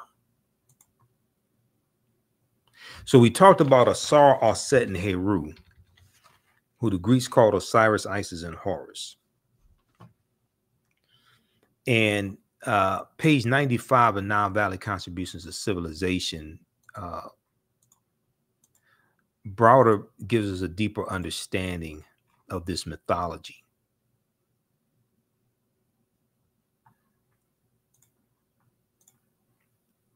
And he said, Do I have the zoom in? Did I zoom in on this? What did I? Okay. He says that the story. So if you have the, the book at home, Nile Valley Contributions to Civilization by Tony Browder, you can you can pull the book out. This book right here. This is one of the books we use in uh, my 12 week online course. Also, you don't you don't have to buy any of the books to follow along in the class. We do uh, uh, we show you excerpts of the book on the screen, but if you have it, you can use it. Okay, so page 95, Browder says the story of Asar, Auset, and Heru is the first story in the recorded history of man of a holy royal family, the Trinity, immaculate conception, virgin birth, and resurrection. Evidence of this Trinity is known to have existed in ancient Nubia or Ta-Nehisi, which is the mother of ancient Kemet, as late as 3300 BCE. As late as 3300 BCE, before the Common Era or BC.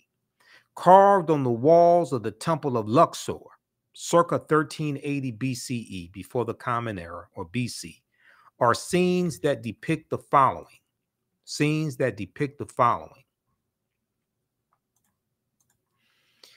Number one, the so the bottom uh panel number one at the bottom, my left. The Annunciation, the Neter Dehuti, who the Greeks called Thoth, is shown announcing to the virgin Auset the coming birth of their son Heru, or who the Greeks called Horus, as Dr. Martin Luther King Jr. explained in his book dealing with the influence of the mystery religions on Christianity. Now, so this is the Annunciation. We've all heard of the Annunciation. The second panel depicts the Immaculate Conception. The Immaculate Conception. The Neter, Kneph, K N E P H, who represents the Holy Ghost, and the Neter Het Heru, who the Greeks called Hathor, are shown symbolically impregnating Auset or Isis by holding the Ankh, which is the symbol of life or the African symbol of eternal life, holding the holding ankhs to the nostrils of the Virgin Mother to be Auset. This is the Immaculate Conception. Number three, the third panel at the top, you see the virgin birth. Auset is shown on the birthing stool, and the newborn child is attended by midwives the birthing stool because we had enough sense to know that it made more sense um, for the woman to sit on the birthing stool, let gravity take its course, than just to lay on your back and try to try to push the baby out. Okay, so they're depicting the, the, the birthing stool and attended by midwives. Number four, the adoration. The newborn Heru is portrayed receiving gifts from the three kings or magi, okay, as described in um, uh, Malachi chapter 10, the book of Malachi, but it doesn't say how many, it just says uh, uh, wise men. They're just referred to as wise men or kings, things like this. It doesn't say how many. While, while being adored by a host of gods and men. Now, three, saying the three wise men, three comes from the three stars in Orion's belt. Okay, the constellation of Orion the hunter. And do I have I have that here? Okay. The constellation of Orion the hunter. Um the three stars in Orion's belt and we know that the star Sirius rises uh around December 25th the star Sirius rises to be in line with the three stars in Orion's belt and they're going to point towards the sun also. The star Sirius, I'm sorry, the constellation of Orion, the hunter, in ancient times was the constellation of Asar. And uh, the constellation of, of Orion is followed by uh, two constellations called Canis Major and Canis Minor, the big dog and the little dog. The star Sirius is in the constellation of Canis Major, the big dog. Okay. So Sirius is known as the dog star. Sirius is known as the dog star because it's in the constellation of the big dog, Canis Major. When we look at the old um, uh, logo of the satellite radio company Sirius, S I R I U S, Sirius.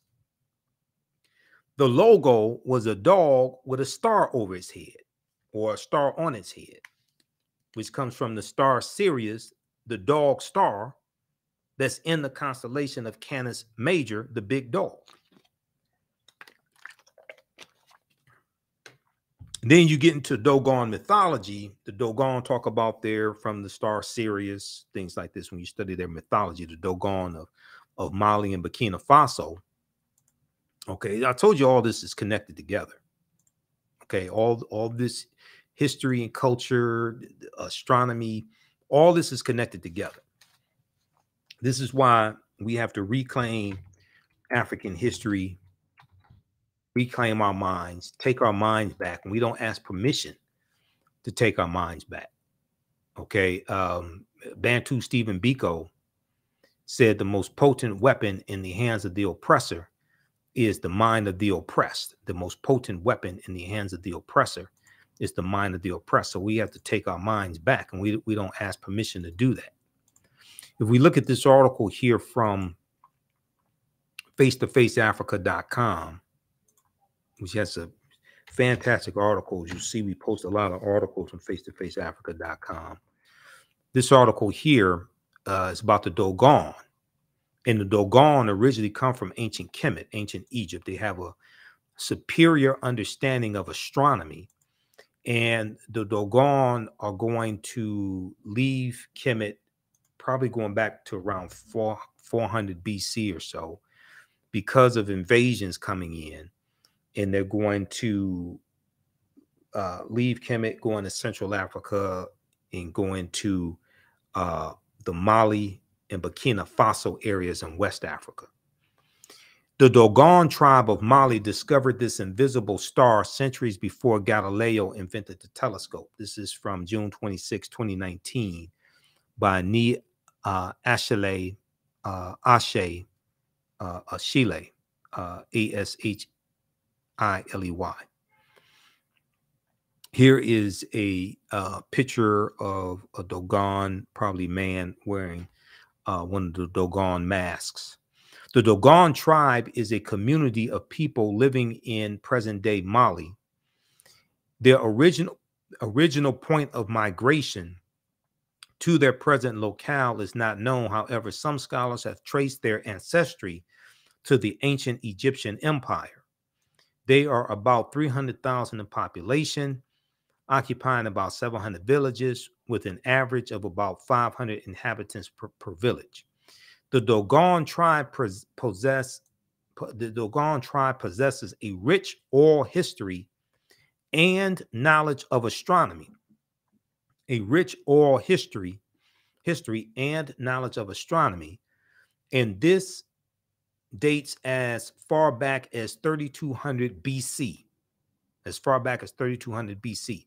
According to the oral tradition of the Dogon tribe, the star named Sirius A, the brightest star in the night sky with a bluish tinge, Sirius A, has an invisible companion star scientists have named Sirius B. So the Sirius A and Sirius B star system. Sirius A is in the constellation of Canis Major, the big dog, Sirius A.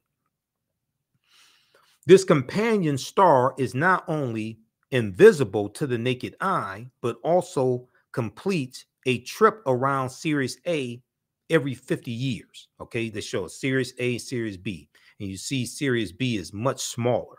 Okay, now the Dogon have have had knowledge of C- Sirius A and Sirius B going back thousands of years.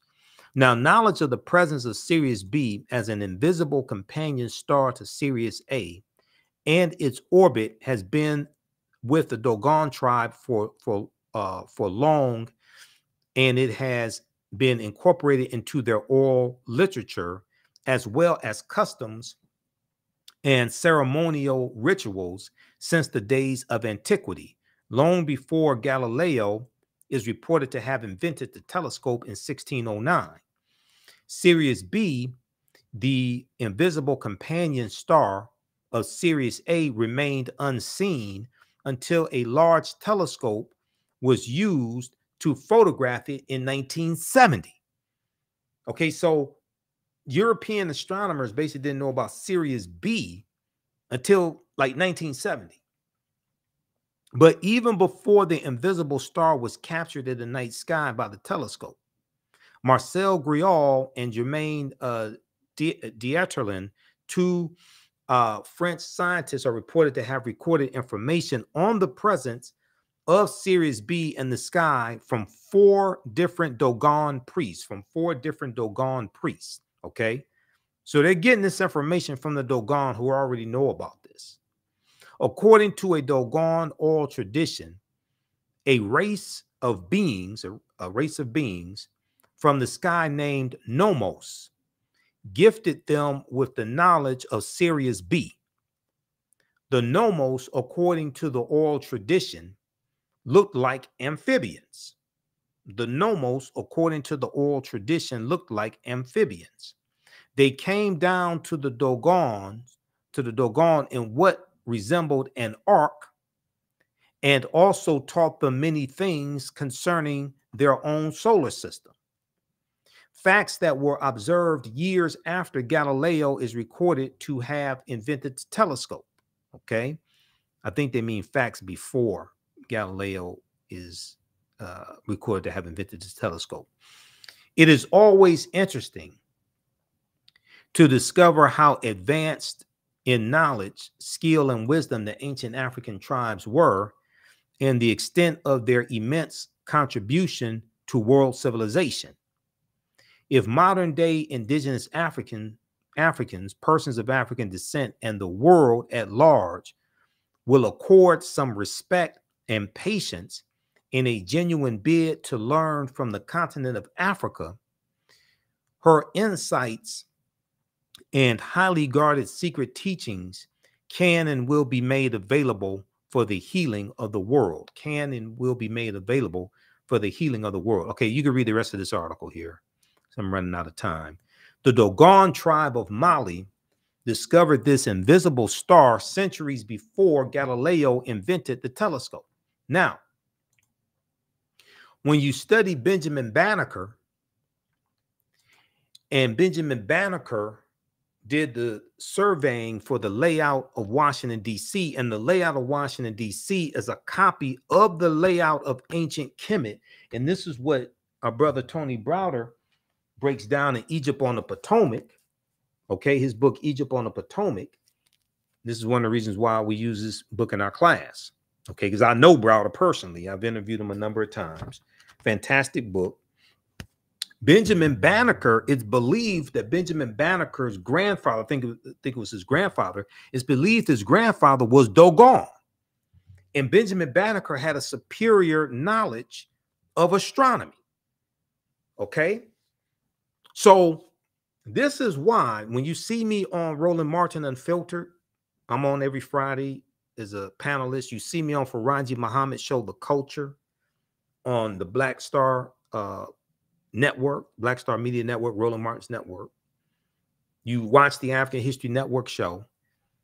This is why when you hear me talk about reparations, I say we first when the concept of reparations, the root concept means to repair, to repair the damage of something that was done to make you whole again, to restore you back to a state prior to when the damage was done, to make you whole again.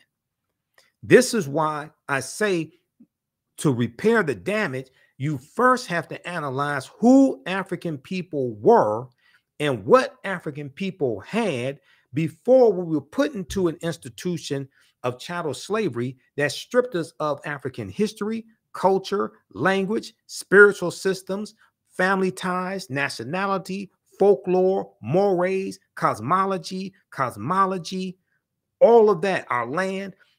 You have to analyze who African people were before the trauma was inflicted to understand how to repair the damage and what to restore us back to. Yes, cash payments can be part of the repairing of the damage. Cash payments alone is not reparations because you have not properly analyzed the damage that was done. What we should be striving for is to is to be restored back to the status of our ancestors. If you start the analysis of African people in slavery, then you are already coming to the conversation at an intellectual deficit because you don't understand who African people were before we were put into the institution of slavery. That's why a lot of this stuff floating around masquerading as reparations is wrong. You haven't done a proper analysis. In cash payments can be part of a comprehensive reparations program to repair the damage. It's going to take a generation of repairing the damage. But watch the information that I the, the, the, the videos I have dealing with reparations. It's totally different than a lot of this stuff floating around. But see, I'm a historian. You first have to analyze who African people were before the damage was done because we need to be restored back to that. Not think that you are repairing the damage because we get a check of whatever amount, however many zeros you want to put in it, because our ancestors worked for 246 years for free. That's not repairing the damage because you haven't assessed what the damage was. Then you have to understand the laws and policies that were put in place after slavery ended that bring us right to where we are today that has maldistributed wealth, power, and resources into the hands of Europeans because you have to change those laws and policies that continue to inflict the harm. Just giving a check don't address the laws and policies that have continued to inflict, inflict the harm and have done so for the past 158 years. All right, let's continue. because This ain't this, this is not a broadcast about reparations. But once again, like I said, all this is connected. Okay, now let me try to hurry up and finish this. Um, let's look at page that was page 95. Let's look at page 198 of Nile Valley Contributions to Civilization.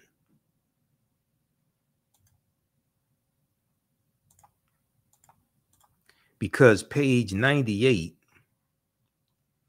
deals with um let me see let's go to this.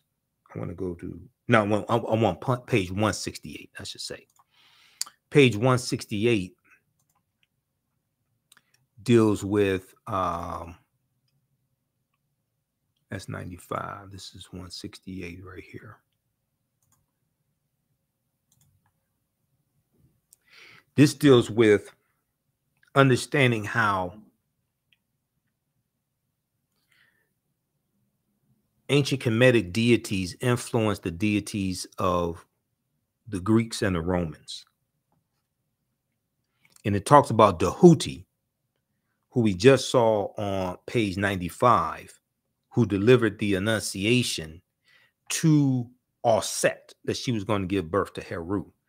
Okay, so we see Dahuti here, the ibis headed uh, Neter, uh, who had who carries two staffs. And if we look at this here, okay, Dahuti, the Neter of science, writing, measurement, divine articulation of speech, and medicine, holds in his hands two staffs with entwined snakes. Okay, two staffs with entwined snakes. Each staff has a snake wrapped around it. One serpent wears the crown of Upper Kemet, Upper Egypt, and the other wears the crown of Lower Kemet, Lower Egypt. Tahuti was referred to as Thoth by the Greeks. Now, the second deity is Hermes amongst the Greeks. Hermes was the Greek equivalent of Tahuti, who is shown carrying a staff which has two entwined snakes, a staff which has two entwined snakes. It was called the staff of Hermes, H E R M E S, Hermes. In Greek mythology,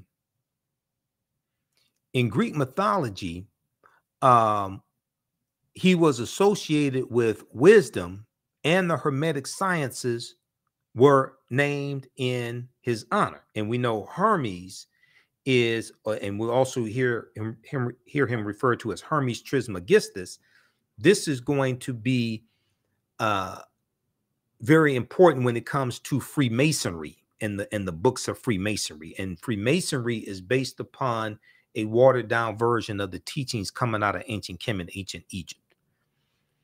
Now, the third one that you see here, the third deity is Mercury. Okay. Now, Hermes carries the staff of Hermes, which is a staff with two entwined snakes. Tahuti carry two snakes, uh, two staffs. Each staff had a snake wrapped around it. Now, Mercury is Roman. It says Greek, but Mercury is Roman. Mercury is the Roman version of Hermes and Tahuti, and he is similar in all aspects.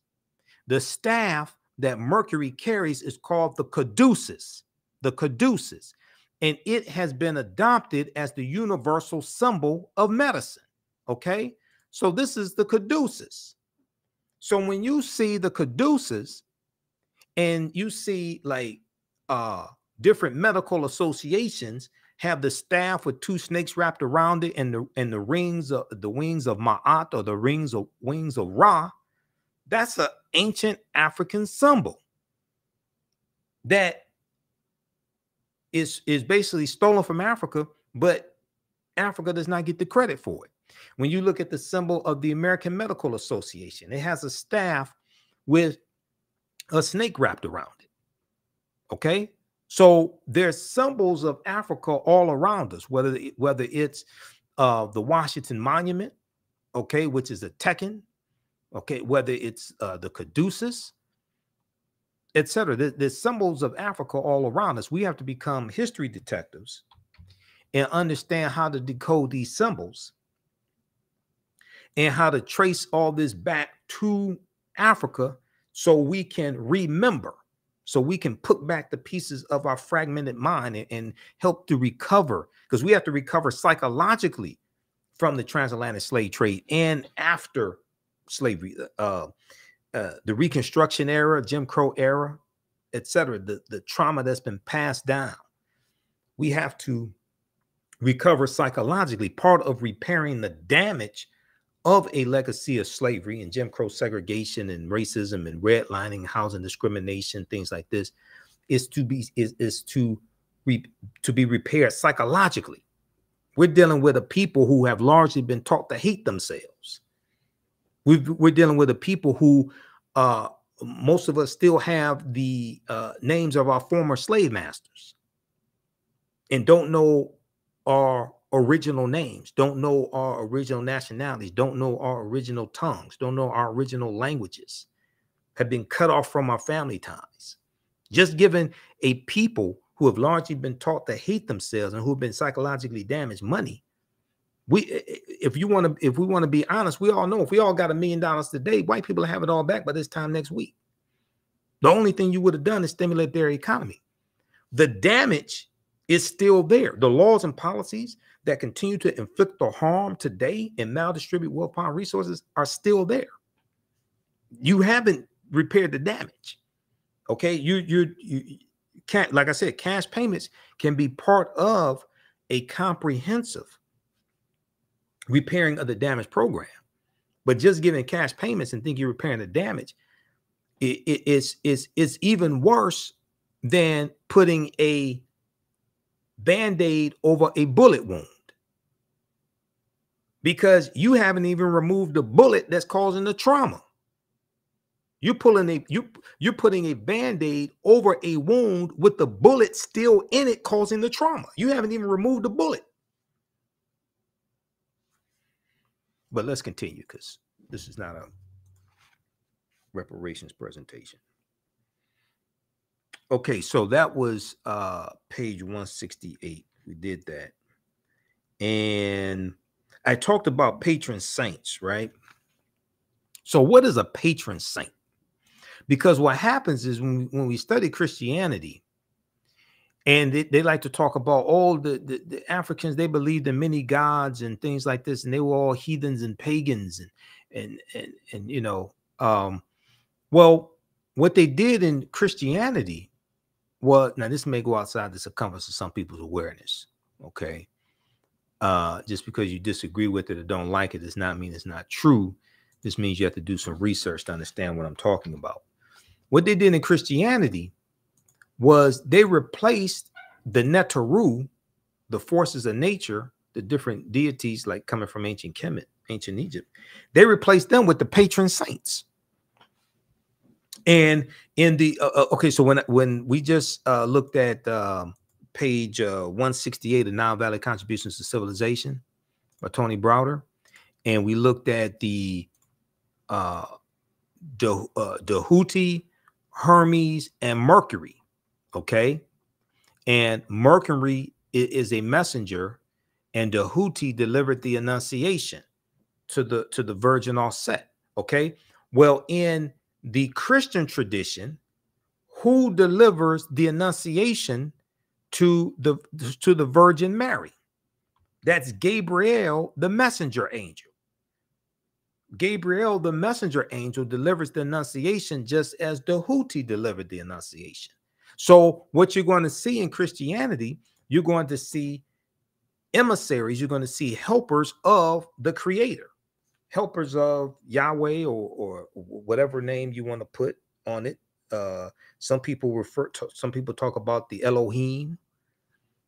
You're going to see helpers of the creator, just as in ancient Kemet. They believed in one supreme force, but the Neter, the the, the Neter, Neter for uh, singular, neteru for plural, were the different manifestations of that one supreme being.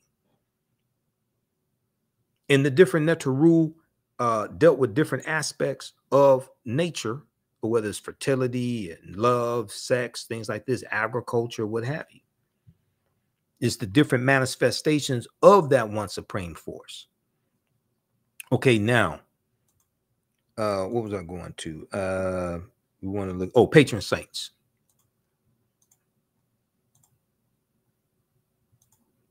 Believe me, I'm trying to hurry up and wrap this up, but I have a list here of what to get through.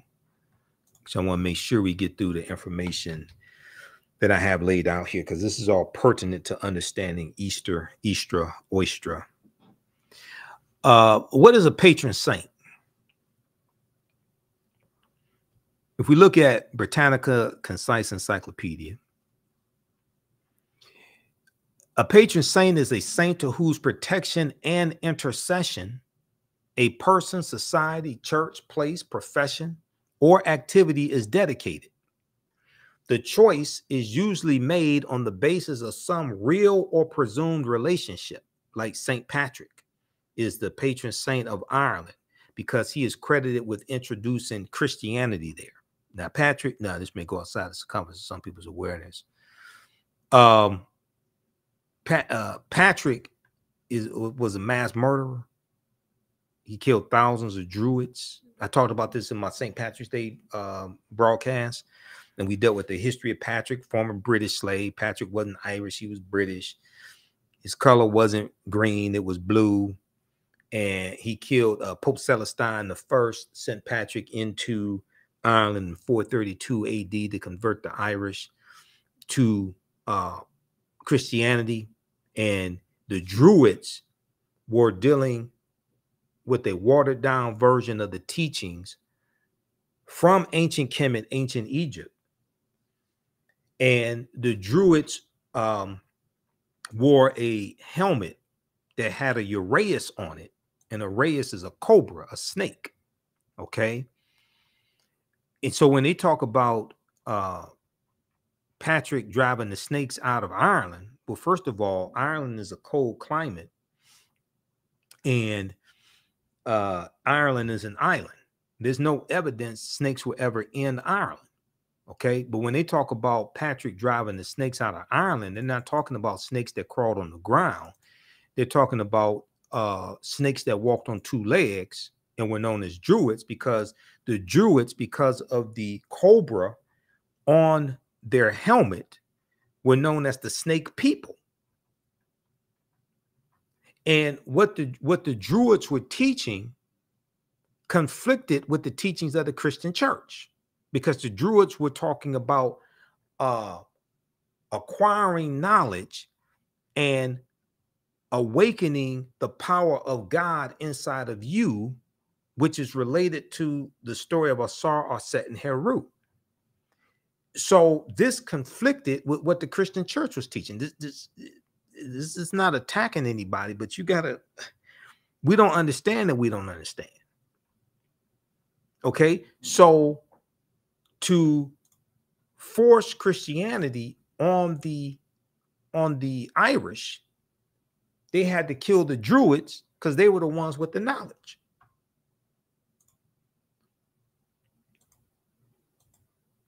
Let me bring up this. Uh, I'm trying to bring this one up here. Hold on. This slide, this deals with the Druids. Which one is that? Okay, yeah. Understand the transatlantic slave trade. Okay, because we we go deep into this uh in the class. Where's the slide on the Druids? Right here.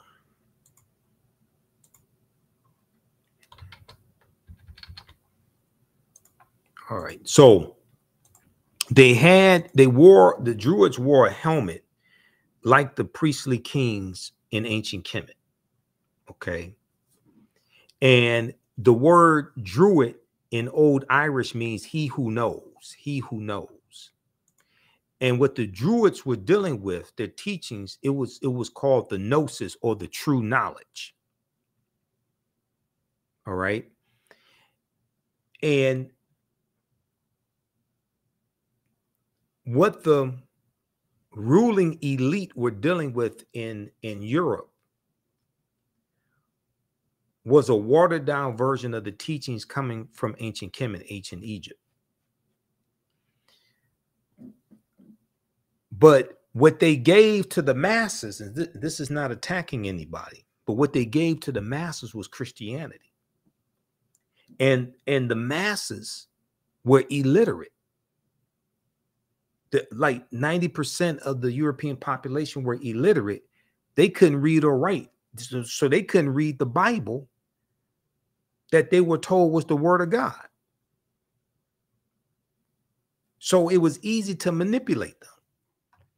But the ruling elite that gave the masses Christianity in, in Europe. Now, I'm not talking about early forms of Christianity because early Christianity prior to the first council of Nicaea in 325 AD looked a lot like traditional African spiritual systems. A lot of early Christians believed in like types of reincarnation. And a lot of your early Christian saints were Africans.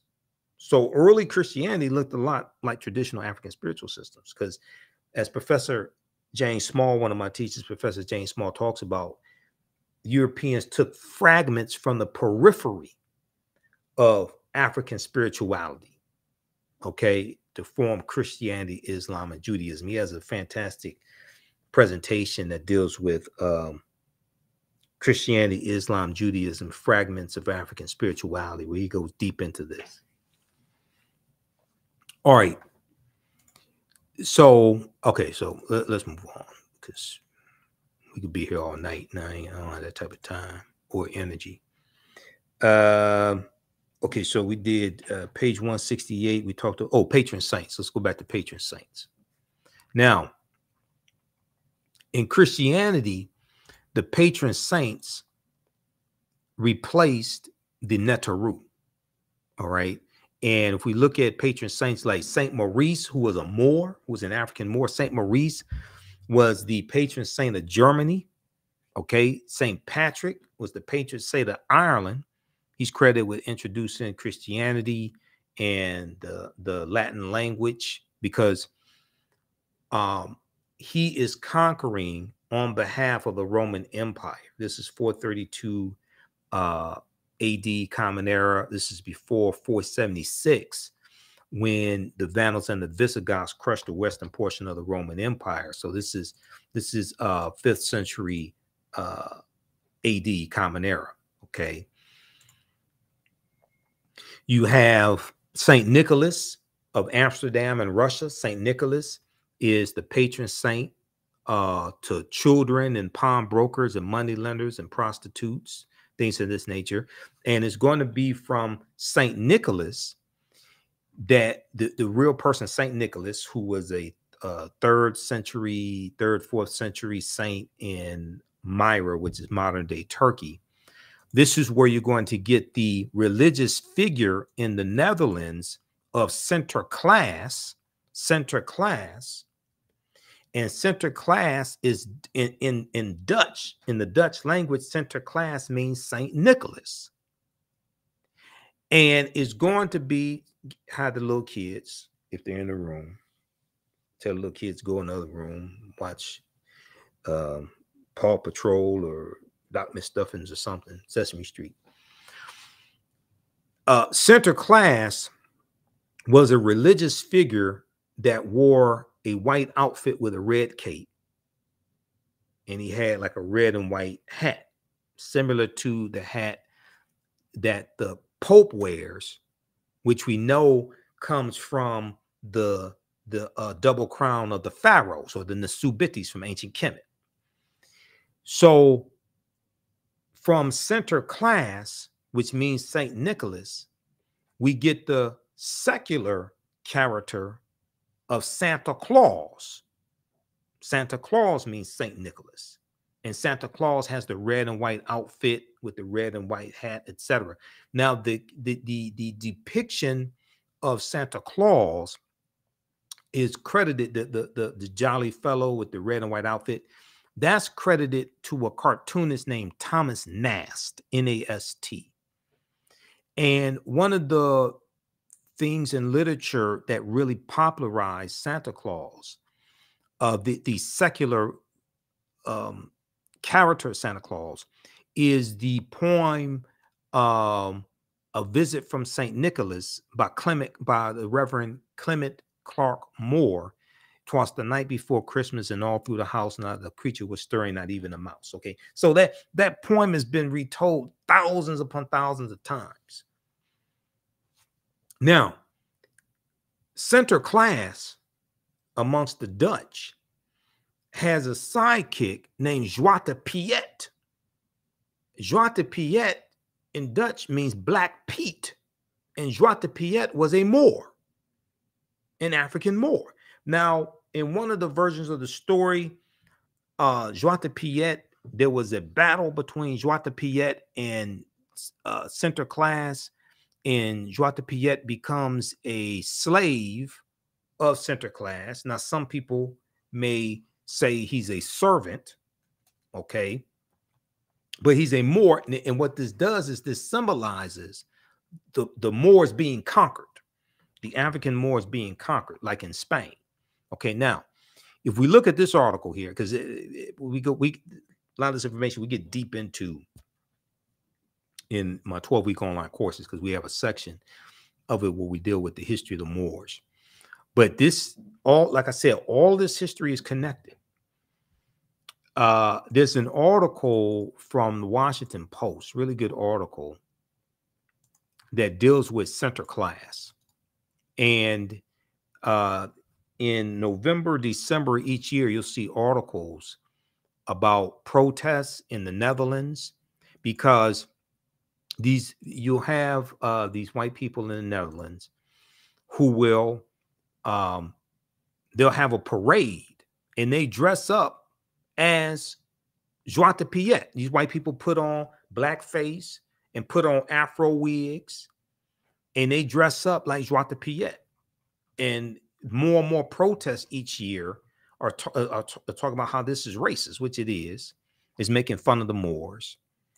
Now you have a lot of the white people who say, "Oh no, we're not we're not racist or de Piet, you know, he's uh uh the reason why his face is black is because he slides down the chimney to let Sinterklaas in so Sinterklaas can leave presents for the little boys and girls and Zwarte Piet, that's soot. They say they actually say they say there's soot on Zwarte Piet's face. That's why he's black.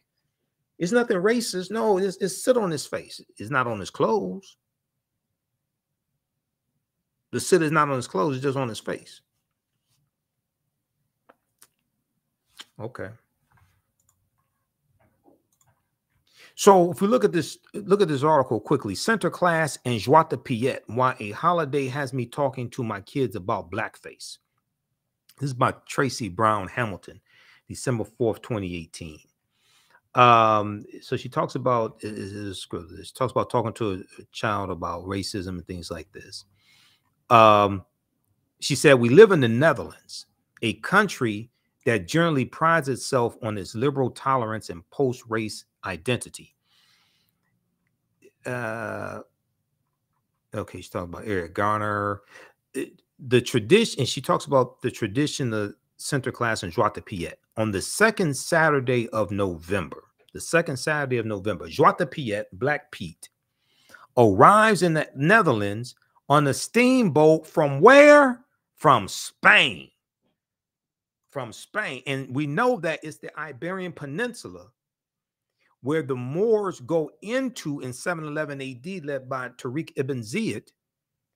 They go from Morocco into the Iberian Peninsula, today known as Spain and Portugal. This is where they go, and, and they're gonna they're gonna uh, conquer the Vandals and the Visigoths, defeat them, and they're gonna settle in uh, what we call southern Spain and call it Al Andalus, which basically means like to walk in the spiritual path, walk in the spiritual light. So they say that De Piet comes in from Spain because that's where the Moors go into when they go into Europe, into, into Spain, what today we call Spain. Okay, so arrives in the Netherlands on a steamboat from Spain, along with Sinterklaas, a towering, thin, and plushly dressed figure. Hundreds of people gather to watch the steamboat arrive, with Zwarte Piet's dancing and waving while brass band music plays until Sinterklaas disembarks on a white horse with Piet's walking at his side to greet and offer treats to children. The ritual repeats in various cities across the Netherlands until December 5th, the same day, uh, the, the name day of St. Nicholas, okay, December, December 5th. Zwarte Piet is, according to folklore, an assistant to Sinterklaas and of Moorish descent. He's an assistant to Sinterklaas and of Moorish descent. Now, some version of the story, he's a slave. They dress it up and say, oh, he's a servant, but it's still symbolizing the, the, the Moors being conquered. Now, traditionally, since Zwarte Piet's first appearance in a children's book in 1850, Zwarte Piet is portrayed as a very dark skinned character with large red lips, curly black hair, and giant hoop earrings, as many Moorish men wore giant hoop earrings and gold, giant gold hoop earrings. When Zwarte Piets appear in person, they are portrayed by volunteers in blackface. Unlike Santa Claus, who comes one night a year, Santa Claus and de Piet stick around for a few weeks, leaving presents for children in shoes left out by the fireplace. A nightly news program called Sinterklaas Journal covers the adventures and hijinks of, of Sinterklaas and his servants and makes the experience both magical and believable for children. Okay, so read the rest of this here because I don't have time to get deep into this. Sinterklaas and Zwarte Piet, why holiday has me talking to my kids about blackface.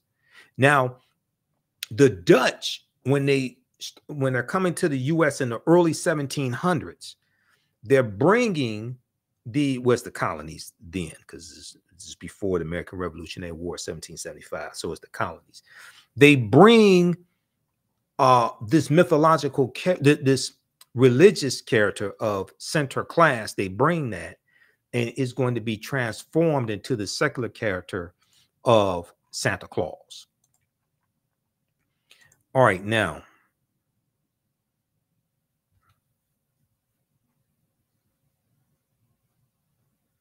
Uh, okay, let, us go back to the proper presentation. I mean, I want to see where I am because we got through a lot of this. And um, what was it? Uh, oh, yeah, we talked about Tariq Ibn Ziyad. And uh, we talked about uh, uh, the Moors going into Spain.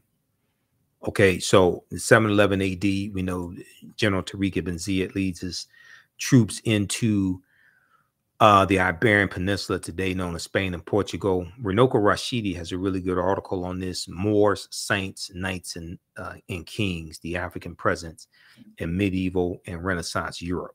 Uh, it's an article from AtlantaBlackStar.com. And also, we used one of Runoko's um, books, actually, two of his books in the class. Uh, where's uh, Black Black Star, the African presence in early Europe, is one of them Where's my black star? Black Star, the African presence in early Europe, where he gets deep into this information. That's one of the books we use. I don't know what put my black star. Another one is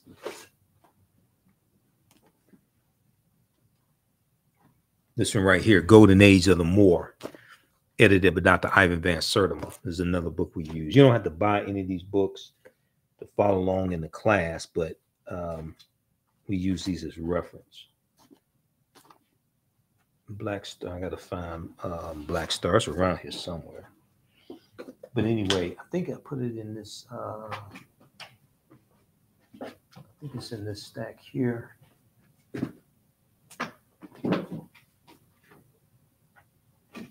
All right, I can't find it. Here's a book everybody should have The Destruction of Black Civilization by Dr. Chancellor Williams. Have and read, don't just have it on your shelf. This right here, The Destruction of Black Civilization by Dr. Chancellor Williams. My black star, I don't know. It's, it's, it's in here somewhere. Here's uh, another book of Runoko's that we use in the class. African uh, African star over Asia, the black presence in the East. This deals with the African presence in Asia. Okay, now let's continue here. Um,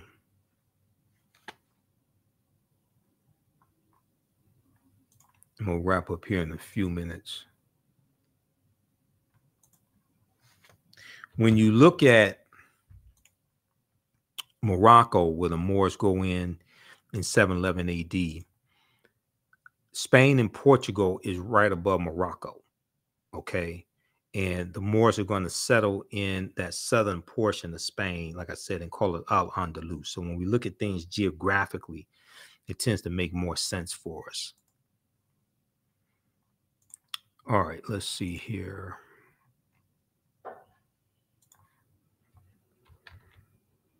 I'm almost done. Now, when we look at, okay, so we dealt with patron saints. Let's talk about the Passover. I mentioned the Passover earlier.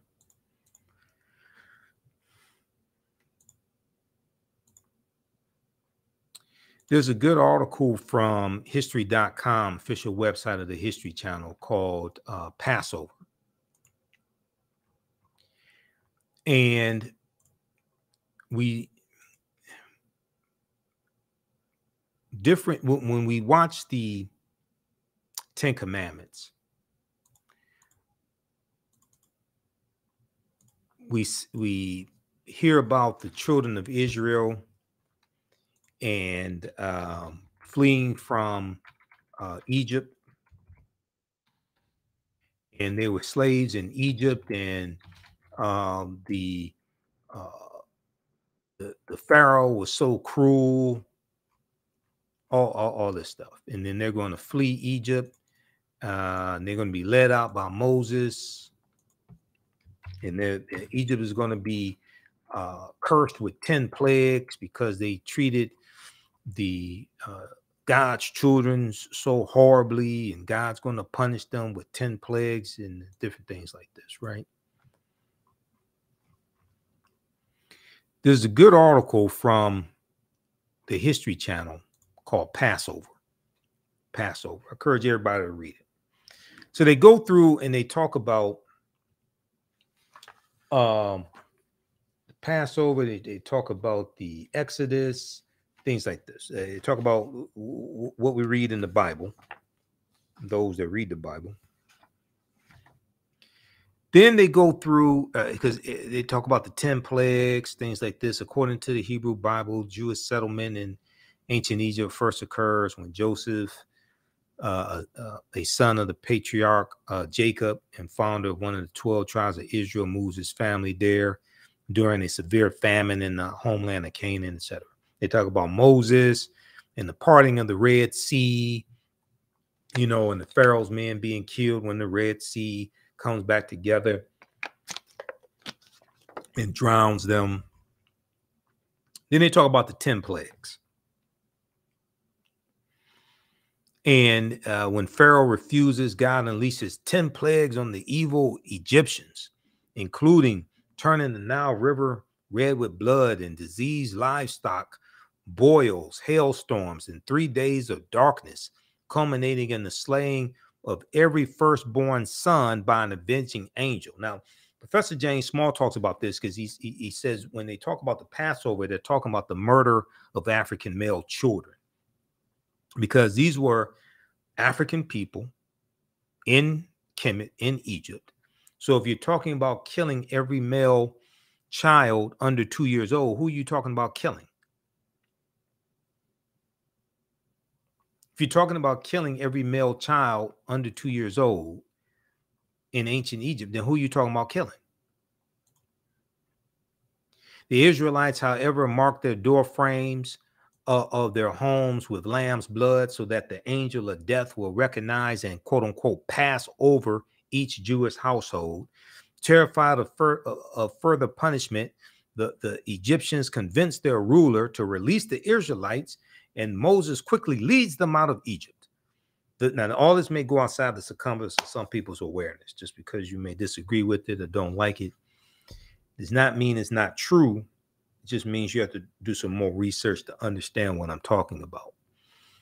The Pharaoh changes his mind, however, and sends his soldiers to retrieve the former slaves. The, the, the, they're saying that the, the, the Hebrews were slaves in ancient Kemet, ancient Egypt. As, as the Egyptian army approaches the fleeing Jews at the edge of the Red Sea, a miracle occurs. God causes the sea to part, allowing Moses and the followers to cross safely, then closes the passage and drowns the e evil Egyptians.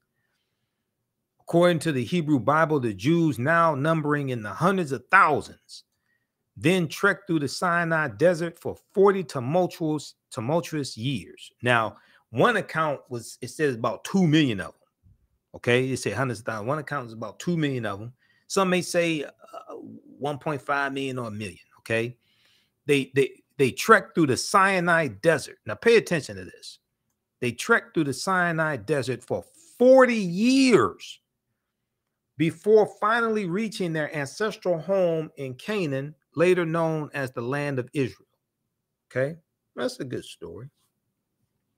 You know, right up there with Star Wars and, um, you know, Black Panther, and it's, it's a good story. But let me let me ask you a question. What did 2 million people eat in the desert for 40 years?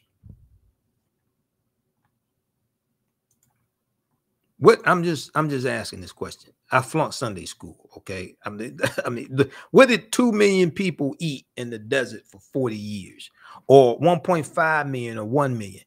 Where did 2 million people or 1.5 million or 1 million or 100 or hundreds of thousands where did they get water from 40 years in the desert. What Where did they get clothes from for 2 million people for 40 years in the desert? What did 2 million people eat in the desert for 40 years?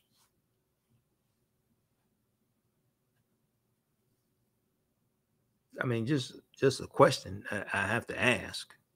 This is, I mean, this there's a logical question. Okay. So let's let's continue. Now, there's a section here, and I tell you, everybody read this. Don't take my word for it. Name of this article is Passover from history.com, official website of the History Channel. It's called Passover. Okay.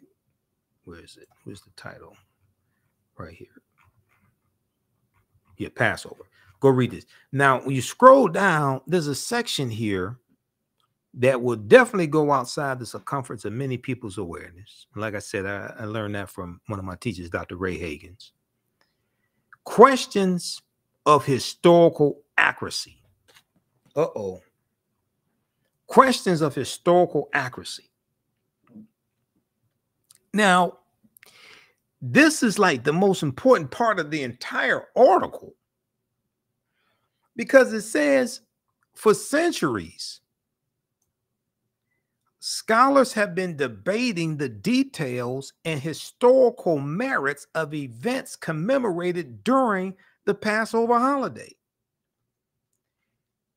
Despite numerous attempts, that means more than one.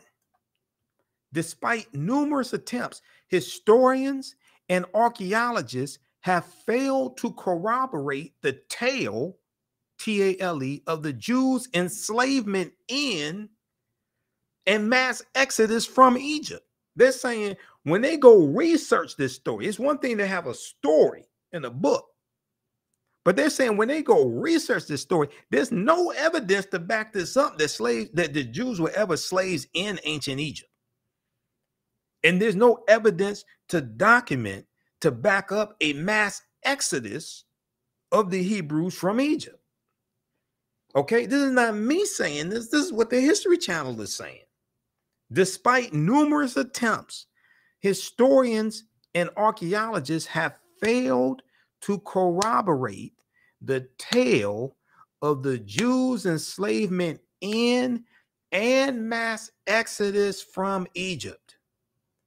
Although the ancient Egyptians kept thorough records, no mention is made of an Israelite community within their midst or any calamities resembling the 10 biblical plagues.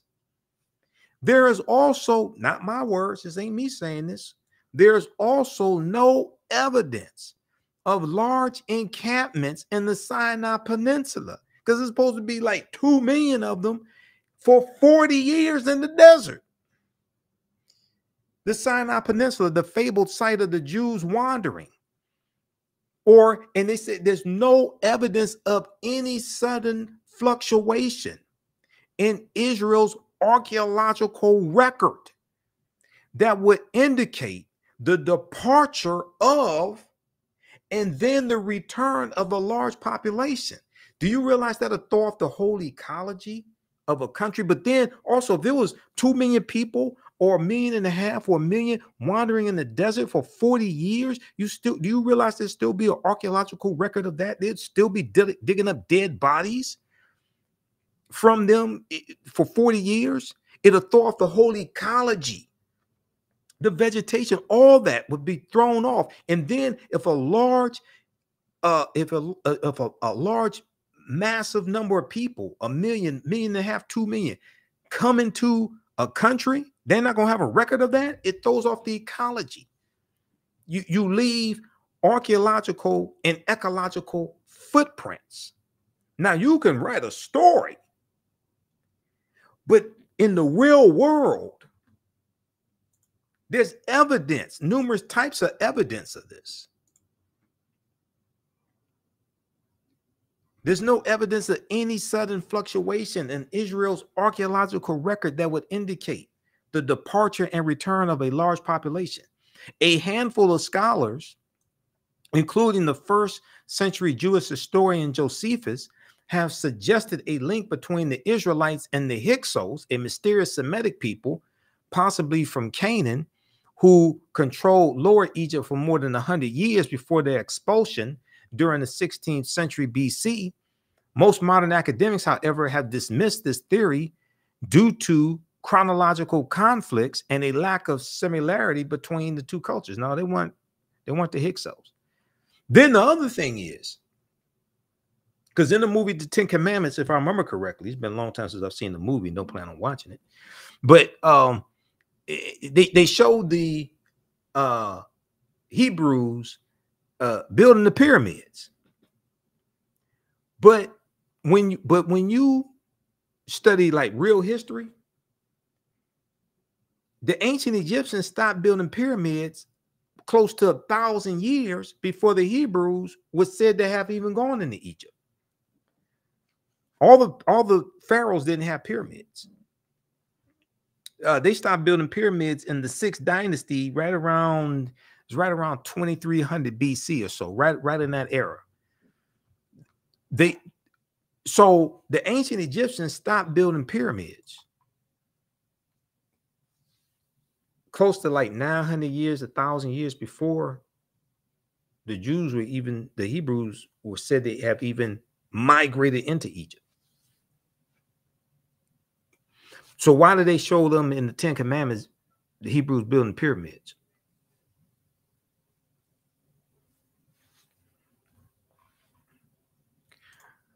All right, now uh, let me see. Okay, we got through that. Same thing. I have my checklist here. Make sure we get all this. Ten Commandments. Okay, so one last article we're going to look at here from time.com, well, two, uh, very quickly. The National Retail Federation has some good information dealing with the money that's involved in Easter. Once again, I'm not telling people don't celebrate Easter. Okay, you want to buy you want to buy your Easter outfit and things like that and go to church. I'm not saying don't do that. I'm saying we need to understand the history behind what it is we've been taught to celebrate. So we have a better understanding what it is that we are participating in. And if you once you have all the information to understand this, you you decide you want to still participate in Easter, that's fine. But once you have more information, it may alter or change how you decide to participate in these European holidays. So, National Retail Federation, NRF.com, has information on Easter. Uh, seeds planted for record high Easter spending, a closer look at what's driving the expected $24 billion in spending, which is up from about 20 million to, to uh, up from about 20 billion in 2022 is going to be an egg sighting Easter. Who the hell wrote this? Um, with consumer spending for the holiday expected to reach a new high of 24 billion by uh, 24 billion dollars by the 81% of Americans who say they're celebrating according to the annual survey from the National Retail Federation and Prosper Insights and Analytics. Okay, National Retail Federation and Prosper Insights and Analytics. Uh, here's a closer look at how some consumers are making their springtime celebration memorable. Decorations and flowers blooming to new heights. Okay, so they go through and break all this stuff down. But it's expected $24 billion will be spent uh, during the Easter season. Uh, clothing, buying clothes and Easter eggs and chocolate Easter eggs and uh, uh, jelly beans and all different types of things like Easter baskets and all different types of things like this. Okay. So check this out from the uh, National Retail Federation. They have information there on Easter. Seeds planted for record high Easter spending.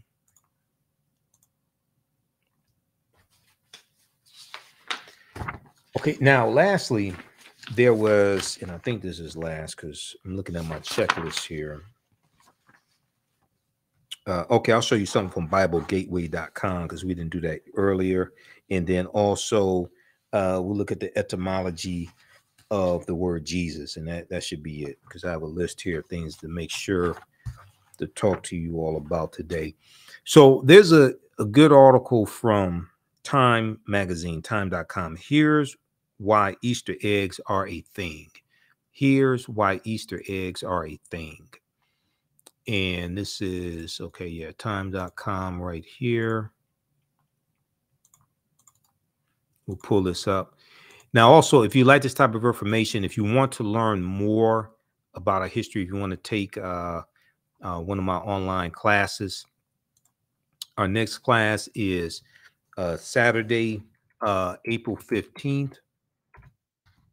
Next class meets Saturday, April 15th, 2023, 2 p.m. to 4 p.m. Eastern Standard Time. It's ancient Kemet, the Moors, and the Ma'afa, understanding the transatlantic slave trade, what they didn't teach you in school. You can register for the class right now. We do the sessions live. All the sessions are archived and recorded.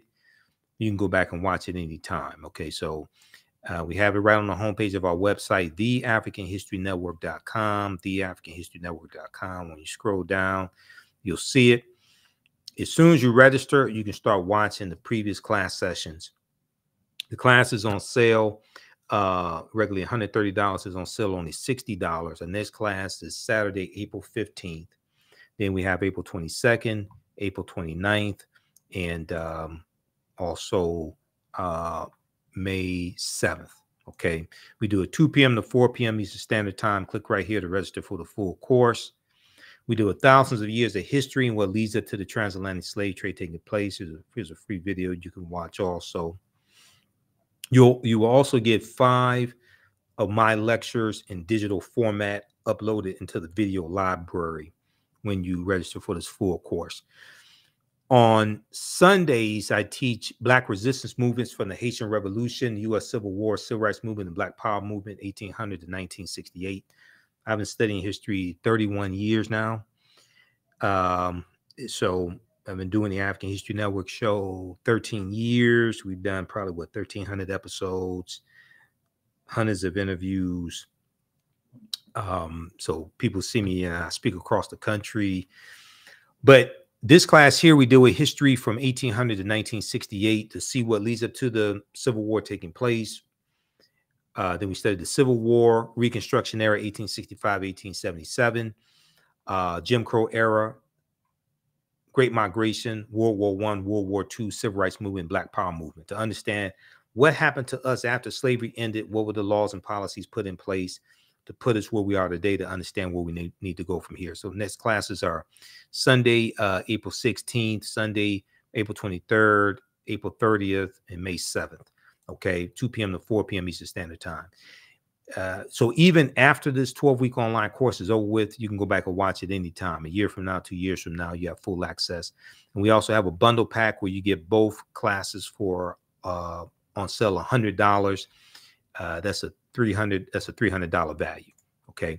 And if you want to support the African History Network, dollar sign the AHN show through Cash App because it takes a lot of work to um, do this type of research takes a lot of work and resources to be able to do all this, run the African History Network. So you can support us uh, through Cash App, dollar sign the AHN show through Cash App is our official Cash App tag uh, here, or through PayPal, paypal.me forward slash the AHN show. So you can click on these links here. This takes you to our uh, PayPal and Cash App um, information here.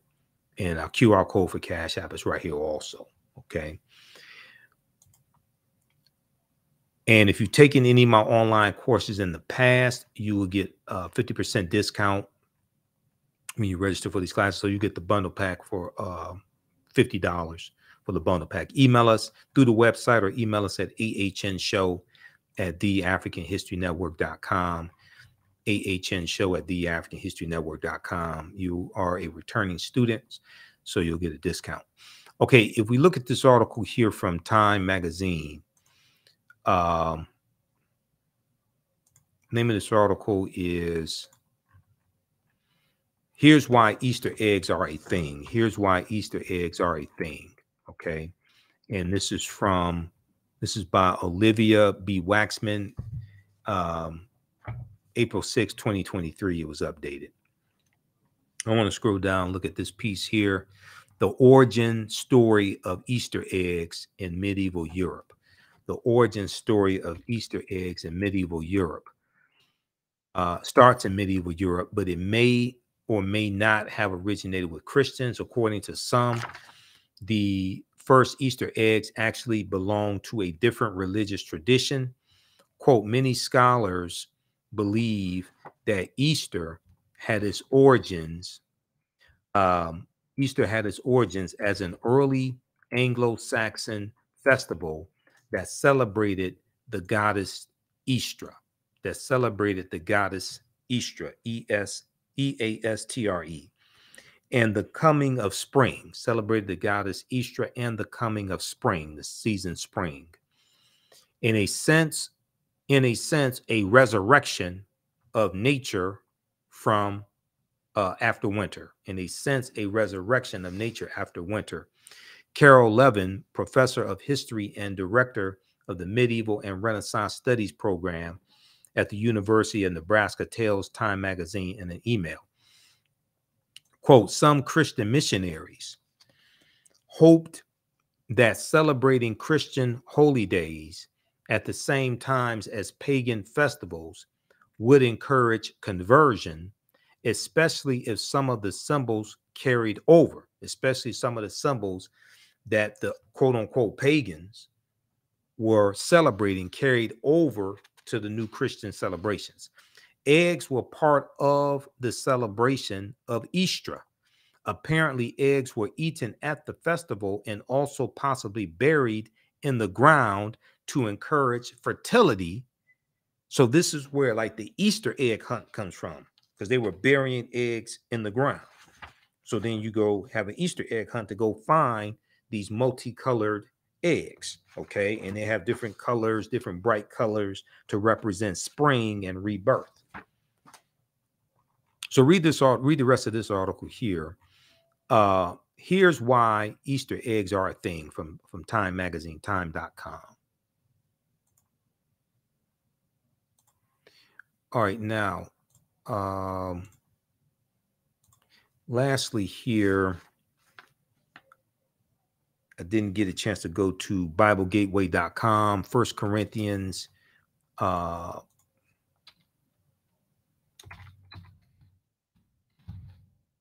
chapter 15, verse 4.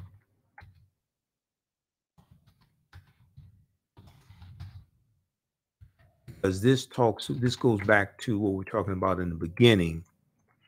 And it deals with um, the resurrection. Let's see, this is okay, this is what I want. Here, buried, okay, raised, okay, right.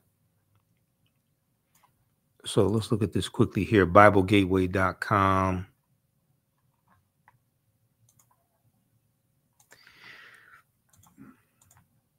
This deals with the resurrection on the third day.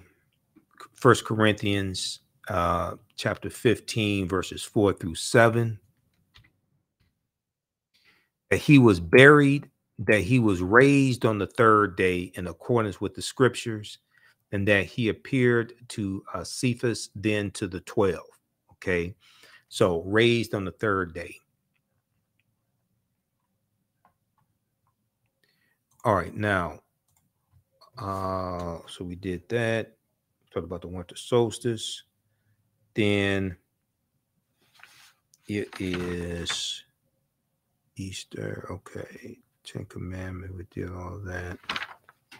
Oh, the etymology. Uh the Etym Online etymological dictionary. I didn't get a chance to show you this here.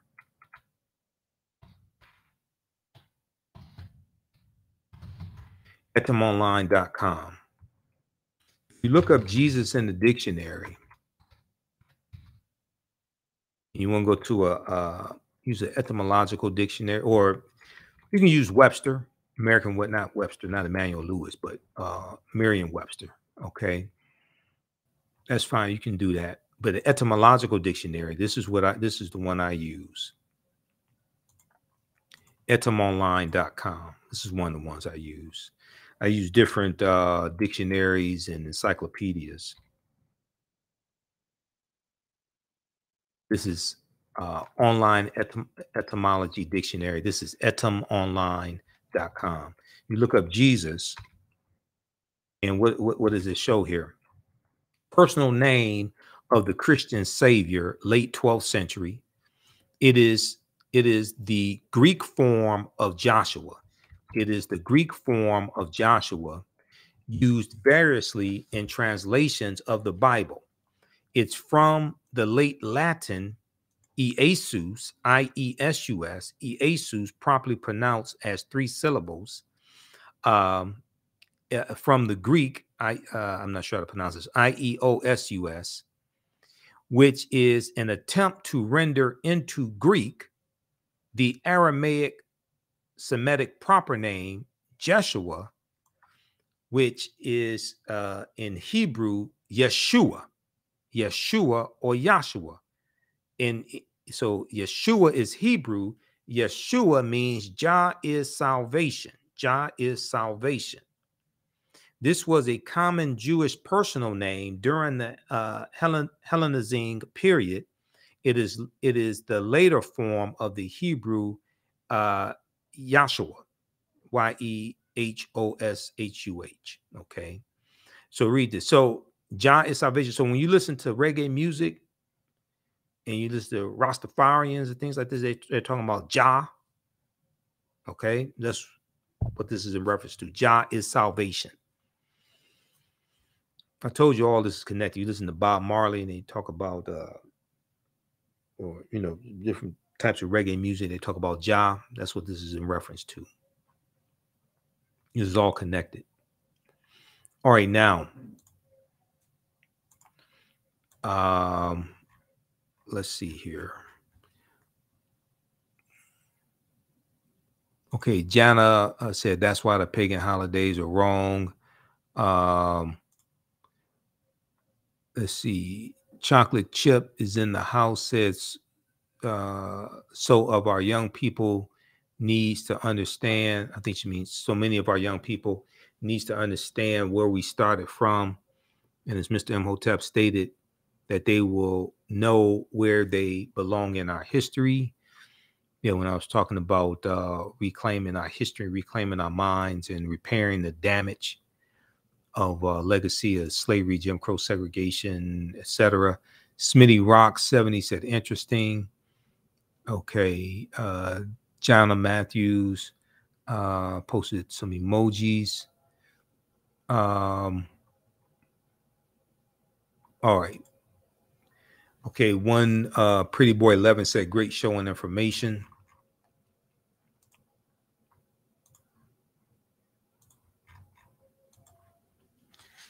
All right. So I think I covered everything.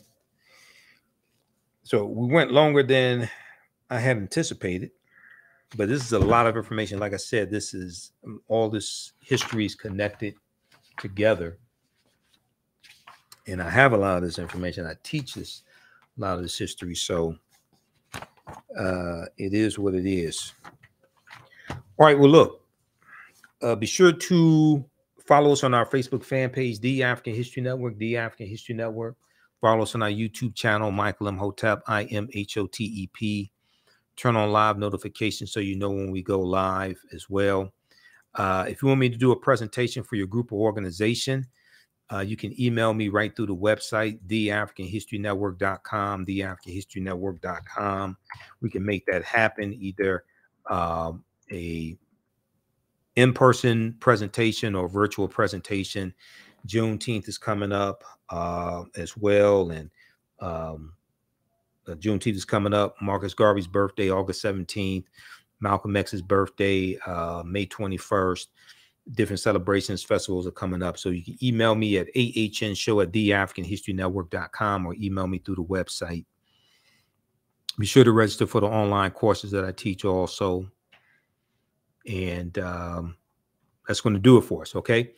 So hope you learned. Hopefully you learned a lot today, and uh, be sure to follow us on our social media platforms. Oh, Instagram. It's uh, Michael Imhotep on Instagram. I M H O T E P. Michael Imhotep on Instagram also. We have to get out of here. Remember, right now is corrects wrong behaviors. Not over till we win. Wakanda forever. We'll talk to you next time. Peace. Thanks for tuning in.